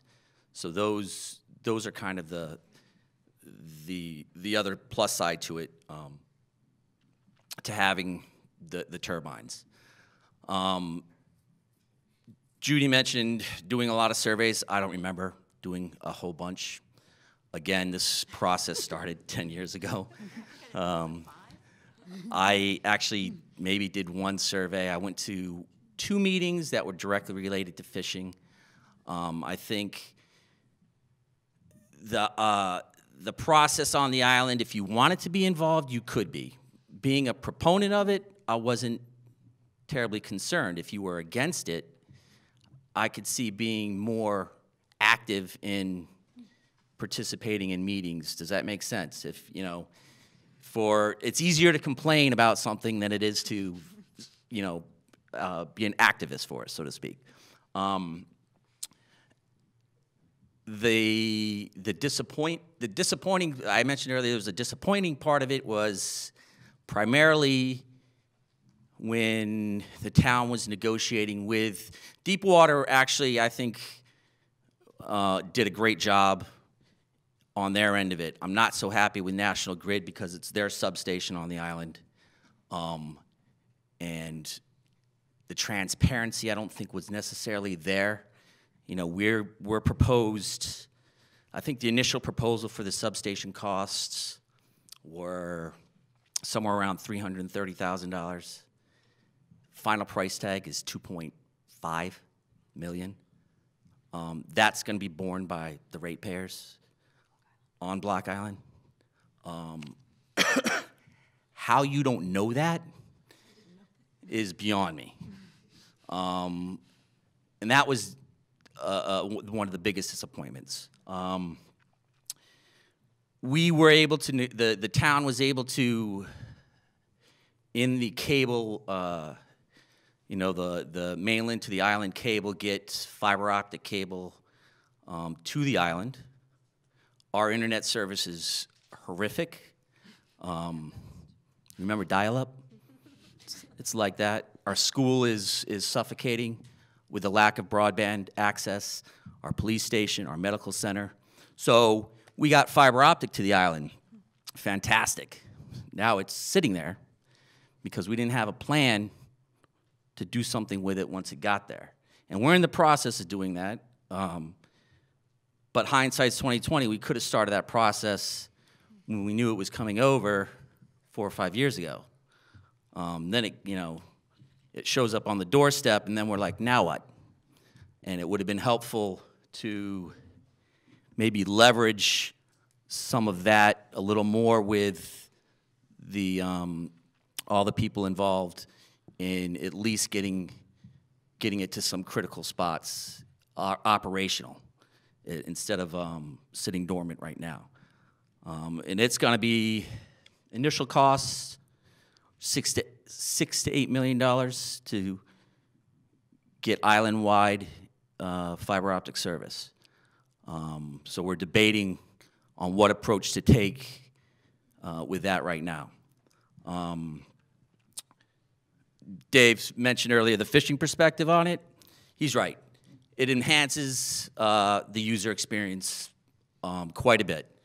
We had the pleasure of watching it being built, so all of our customers were intrigued. Um, part of that experience when you're out fishing, you know, catching fish is number three. When you have uh, something like the wind farm out there, it just adds it's another spot to go. It spreads our fleet out. Block Island gets hammered in the summertime with recreational fishermen from four states, and including ours. And uh, when you, this is basically essentially five artificial reefs, um, finally, and uh, it's five more spots to fish. Um, so it increases the recreational um, experience when it comes to fishing. Um, I think that's about it right now. I'll give it to Judy. Thanks, Chris.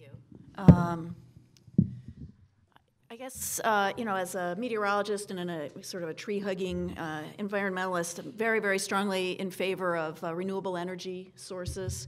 Um, I, uh, I remember uh, Scott, or no, Dennis Nixon called me a YIMBY, a yes in my backyard, uh, because I, when it, if I, I feel like as a nation, if we're making a choice between renewable energy or fracking, there's just no choice. Um, if we're talking about putting up wind farms or violating the Alaska Ref- Wildlife Refuge, there, there's just no choice in my mind. So I am a YIMBY.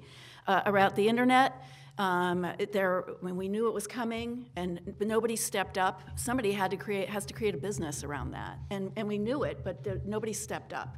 And so I think, uh, I think that's a real challenge. It was a challenge with the electric grid in the 1940s when, when finally somebody in the federal government decided that electricity was a common good. I think it's pretty well established now that internet access is a common good. It affects our education, affects our medical services, our fire rescue services, as Chris uh, so eloquently pointed out. I think it's very important for us to view internet access also as a, as a common good. Um, uh, Jessica talked about real estate values for the people who, uh, whose view sheds were impacted. Um, I assume that it hasn't impact, negatively impacted mine. I do overlook the wind farm. But I want to point out that uh, real estate values for the many more people who lived around those generators has probably gone up because you can't hear, I could also hear the generators uh, because I am on one of the higher points of the island. So now I can't hear the generators. I can only imagine the improvement in, uh, in noise pollution for the hundreds of homes that are around those generators versus the dozens of homes that over, overlooking the wind farm. Um, I, I want to, uh, the, the cost of power, which I understand now isn't going to go down as much as I thought it was. Uh, I just, just, just to give you context, the August before the wind farm went online, I paid 52 cents per kilowatt hour. That's my that was my personal bill. And when you go home and look at your bill, you're probably paying, if you're paying over 20 cents, I'd be surprised, maybe 22, 23.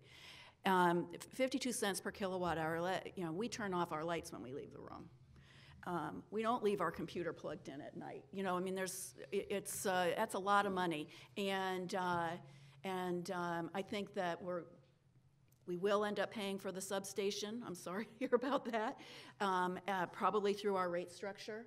And uh, so it, our bills probably won't go down. It won't be reflected in uh, lower energy costs right away, but hopefully in the long run, it, it, as your bills are going up, hopefully ours will be coming down. And that's all I wanted to say. Thank you. I'm going to shift it now. Um, I, I think we, I think you'd agree that Block Island's primary economic driver now on the island is tourism and recreation, right? And um, three of the four of you are involved in some way in tourism and recreation activities. Judy, I'm assuming you recreate, so I'll count you in that group Bimmy, too. So yeah. So I'd love to shift the conversation there and hear from each of you about what you see as the effects of the wind farm on tourism and recreation as an, as an economy um, and as, a, as an activity, money aside.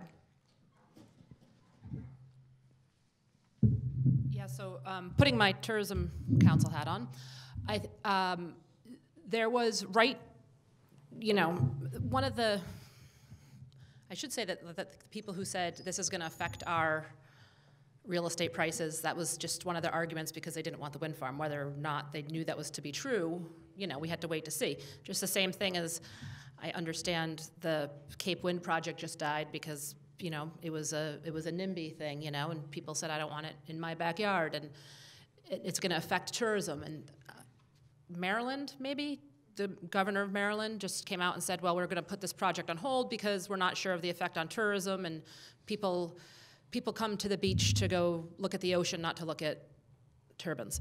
So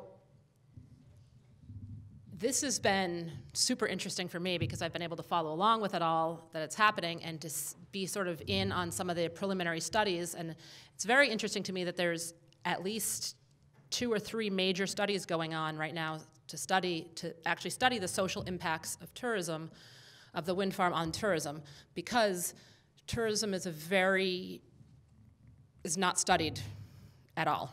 Very, very limited studies on tourism. I mean, just listening to that last session on the birds and the bats, so there's, I mean, how many people studying, you know, that stuff? And it's just not something that's studied. It's a huge economy uh, for the country, um, but it's, it's not something that's understood. So we can track birds migrating much easier than we can track humans and their migrating patterns. But that being said, that's now being studied. So we're starting to see the sort of preliminary results coming out, and I, I think Amelia's sitting on a, a panel and gonna, we'll talk about some of that social stuff that's coming out. But overall, from a tourism perspective, um, you know, people were really sort of up in arms about this, right? At the very end, it was sort of like a last ditch effort, I think, to throw a wrench in the plans. Is it's going to affect tourism? If anything, I think it's, I think it's affected tourism positively.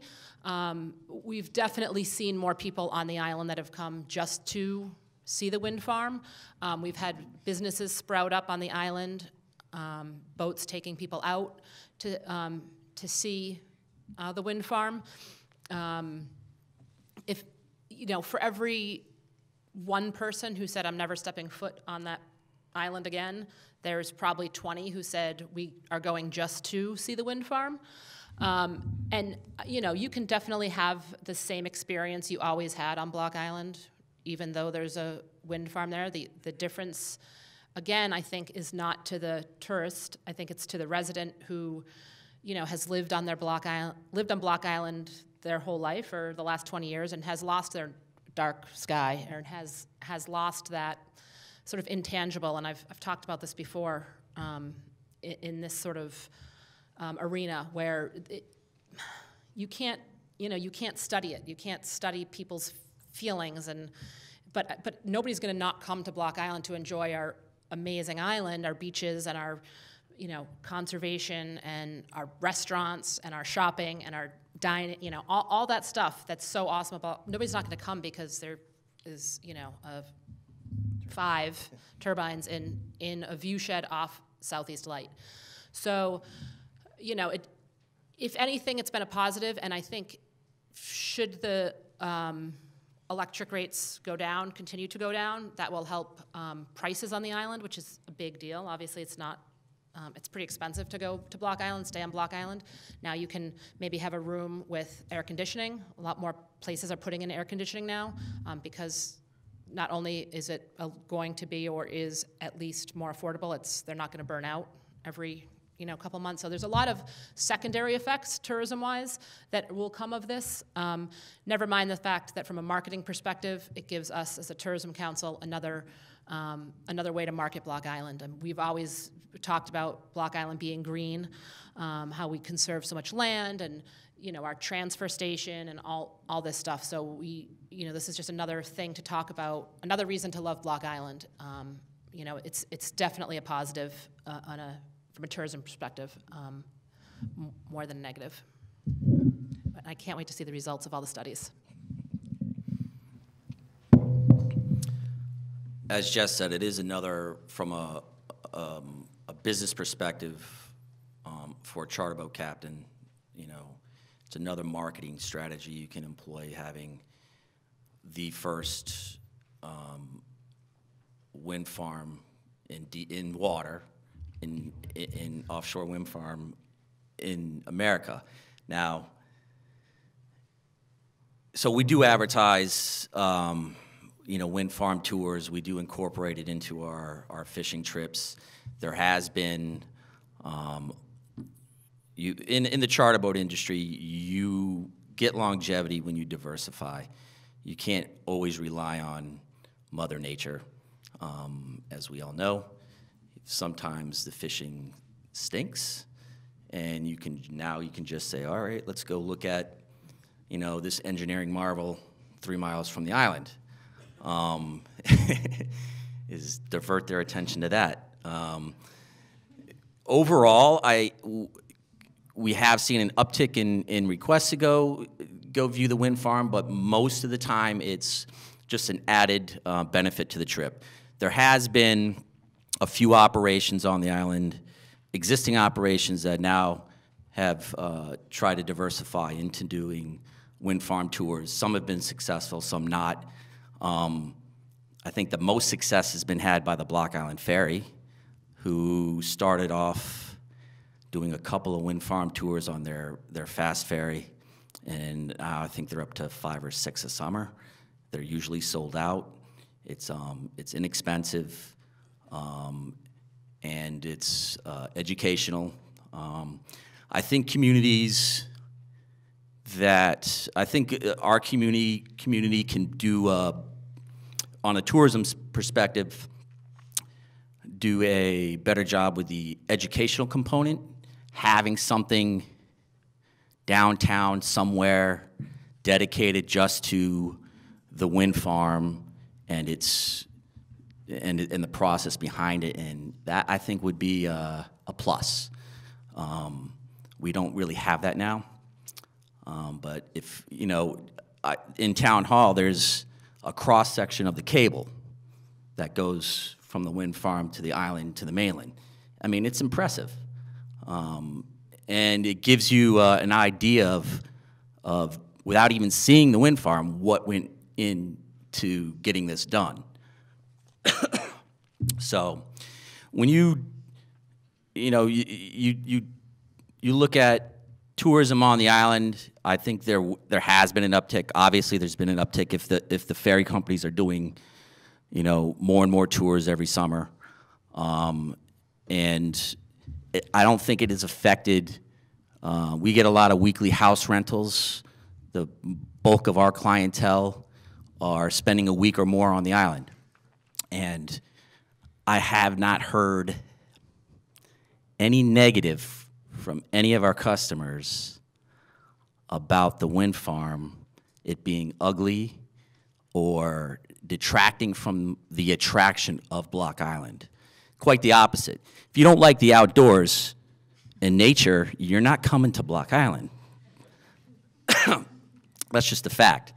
Um, the only negative I've ever heard about visitors on Block Island literally has been in the past five years internet service.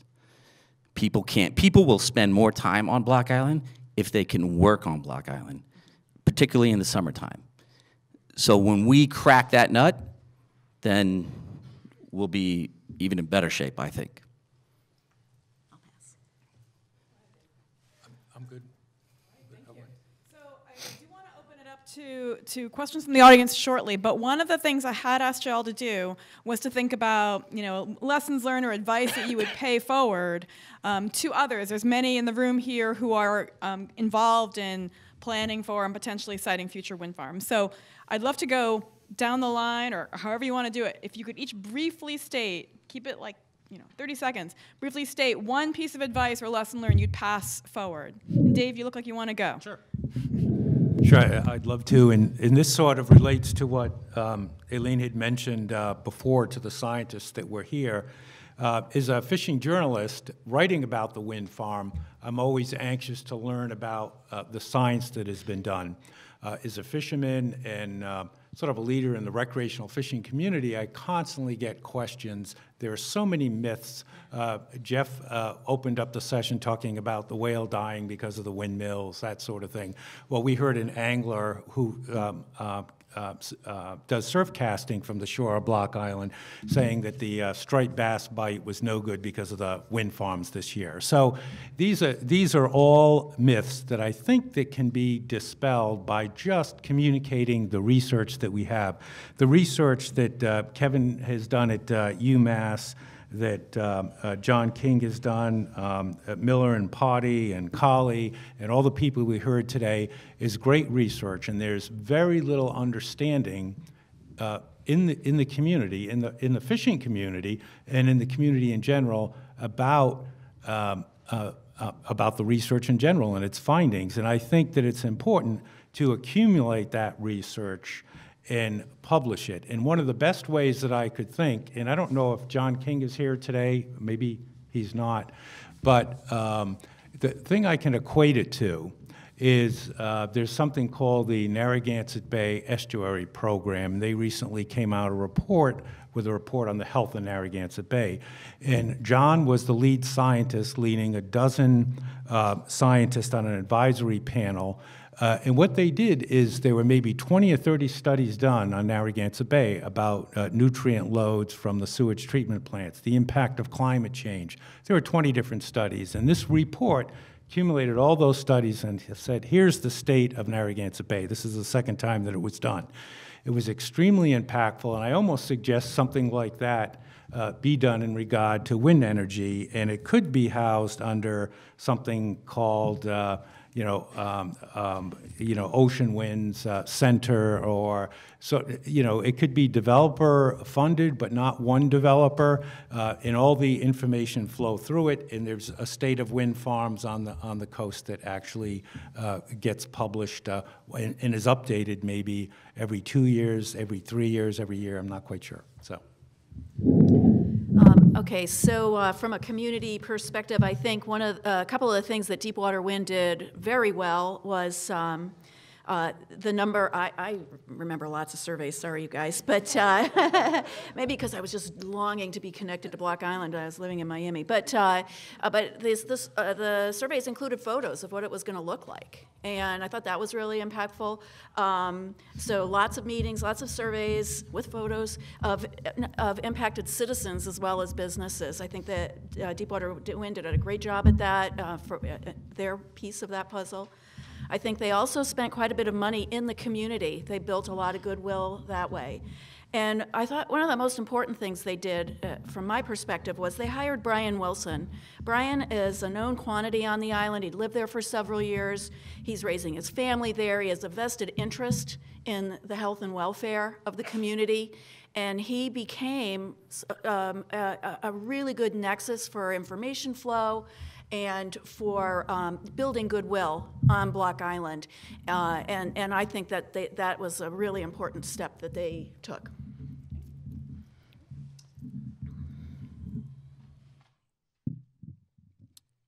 Um, considering the number of organizations that are involved in this project, I think getting consistency with information outflow is paramount. Um, I mean, there are there's so many organizations that are affiliated in some way, shape, or form with this with this project, um, and I I agree. Having an on island, Deepwater did the right thing. Having somebody on island with Brian, um, which is which was smart. And any community thinking about doing this has to go local. Um, Deepwater's hired local boats to do work, um, and uh, those were all those are all good things. That's that's deep water. Then you you can you can pick and choose what organization and give them a grade. I would just say that the consistency and the information outflow um, has to be there, um, and uh, and and making it available not in academia format. you have to dumb it down, um, it- so to speak. Um, and I think uh, I think the engagement. Um, I can't speak to the engagement uh, at the at the state level as uh, uh, uh, as far as um, the mainland, as we call it. Um, but there are plenty of plenty of meetings to to go to. But we live in a day and age of social media and electronic information. Um, make all that information available to anybody that doesn't want to go to a meeting. Um, you're only going to improve your your um, your data collection, if you would, um, if you utilize everything available, um, not just you know your your typical town hall meeting. Um, so, like moving forward with with projects down the line, I think consistency of information gathering, using everything possible to do that, as well as um, consistency in getting the information out. And I say consistency between all these organizations. You're not going to necessarily get one consistent message, but at least get the information out there in a timely fashion and don't have it contradict um, what another agency is might be saying or doing. Um, and I don't know have any suggestions on how to do that. um, but uh, I think that that's important in uh, in moving forward with with uh, with projects like this. Uh, I, my, my suggestion would be to bring tourism into the conversation earlier and more. Um, I feel like tourism is the number one economy on Block Island. Um, I feel like when the, when the site selection process was going on, um, they looked at, they looked at bird migration, whale migration, um, shipping lanes, uh, they mapped the ocean floor. They looked at where the wind was going to be best, and you know, and, and picked the best spot to to make the most efficient wind farm. Um, I don't feel like the tourism was ever taken into effect. My guess is that if there were two spots that were equally good, all everything being equal, obviously would have picked the one that had less impact on tourism instead of placing the wind farm in the number one most visited tourism location on Block Island. So I- think that bringing tourism into the conversation early on, I don't feel like we were in this situation. I think um, none of the members of the Tourism Council, there's a seven-member board, feel that they were brought in um, early on. Um, I- think is important for any developer going forward, any town to get involved with, with the chambers and the businesses and the, the tourism community. Um, and I think a way to do that is going to be to support and follow the current social studies that are out there and and really follow up because I think they're going to turn out to be very positive for developers moving forward. So when some governor or some abutter or somebody says uh, this is going to destroy tourism in this area, you're going to have proof now, and you know, scientific, you know, educational proof to say no, actually, this is what we think is going to happen. So I think that's going to be really important moving forward.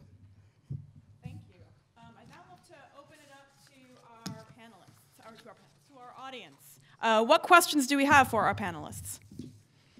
Go ahead, John. I, uh, my job for Bay State Wind is to identify and inform the affected fishing communities. Um,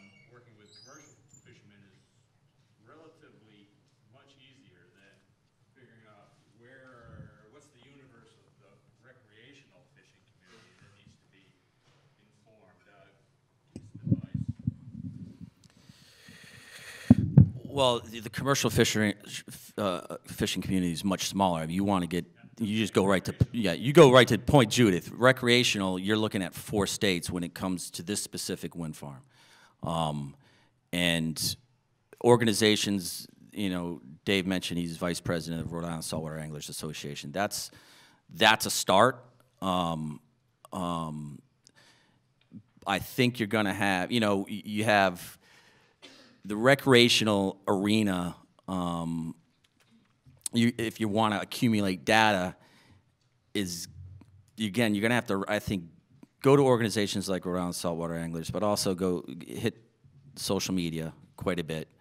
Um, and there's a how many how many clubs are in the state, Dave? The uh, Rhode Island Saltwater Anglers has about 30 affiliated clubs. And those clubs are interstate. Like Yeah. uh, the- Connecticut, there's Mass, Connecticut, Mass. and- and so Rhode that's yeah. that would be an obvious um, um, choice to to start the process, and then Long Island. If you if, you know, I think they're proposing one off of Long Island. Obviously, the the. Am I right? No, I'm sorry. The Montauk one. That's six. That's that's actually They're saying it's closer or off less the than it is coast to of Long Montauk. um, so that that would be my suggestion: is go to the start at at organizations like that, um, just because of the the sheer number of people that you're talking about, and you're talking about different. You're talking about surf casters, and then and then boat fishermen. That's two totally different demographics, and you could throw in fly fishing, and that's a whole different, you know, demographic. And these clubs typically encompass all of them. Um, Just uh, very quickly, um, the Block Island uh, wind farm area has a lot of recreational fishing. As you move to some of the other areas, like, like the Cox uh, Ledge uh, proposed website, um, as uh, my charter brother, uh, Rick Bellavance, would say, um, Cox Ledge is very much um, to recreational fishermen like Georges Bank is to commercial fishermen.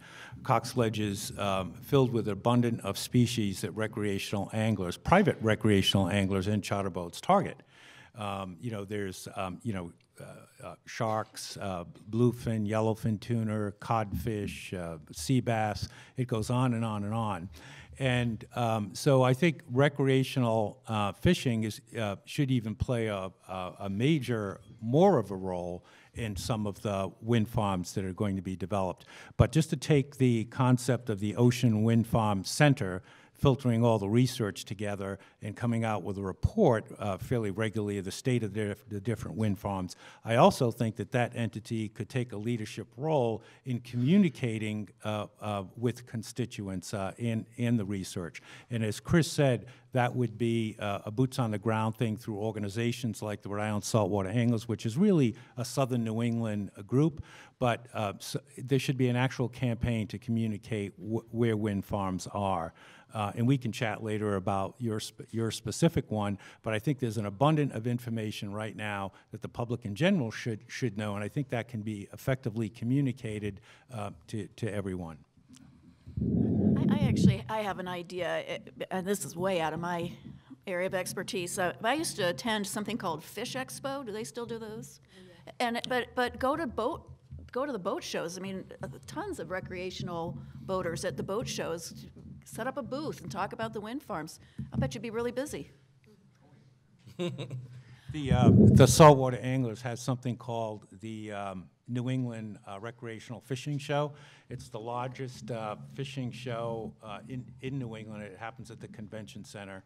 And we often uh, give uh, and donate booths to nonprofits, and we rent booths to um, others as well. Social media, yes. Yeah, so, uh, recreational angles, social media is key. Everyone wants to know where the bite is, so to speak. Uh, and so, um, uh, social media is used, uh, uh, often by recreational anglers. So that would be a good avenue, yep. Great. We have a little less time than I thought, but if there's one more burning question, we can take it. And if not, at least a couple of our folks I think should still be available to chat over lunch. Any other burning questions? Well, thank you all for your attention and let join me in applauding our panel.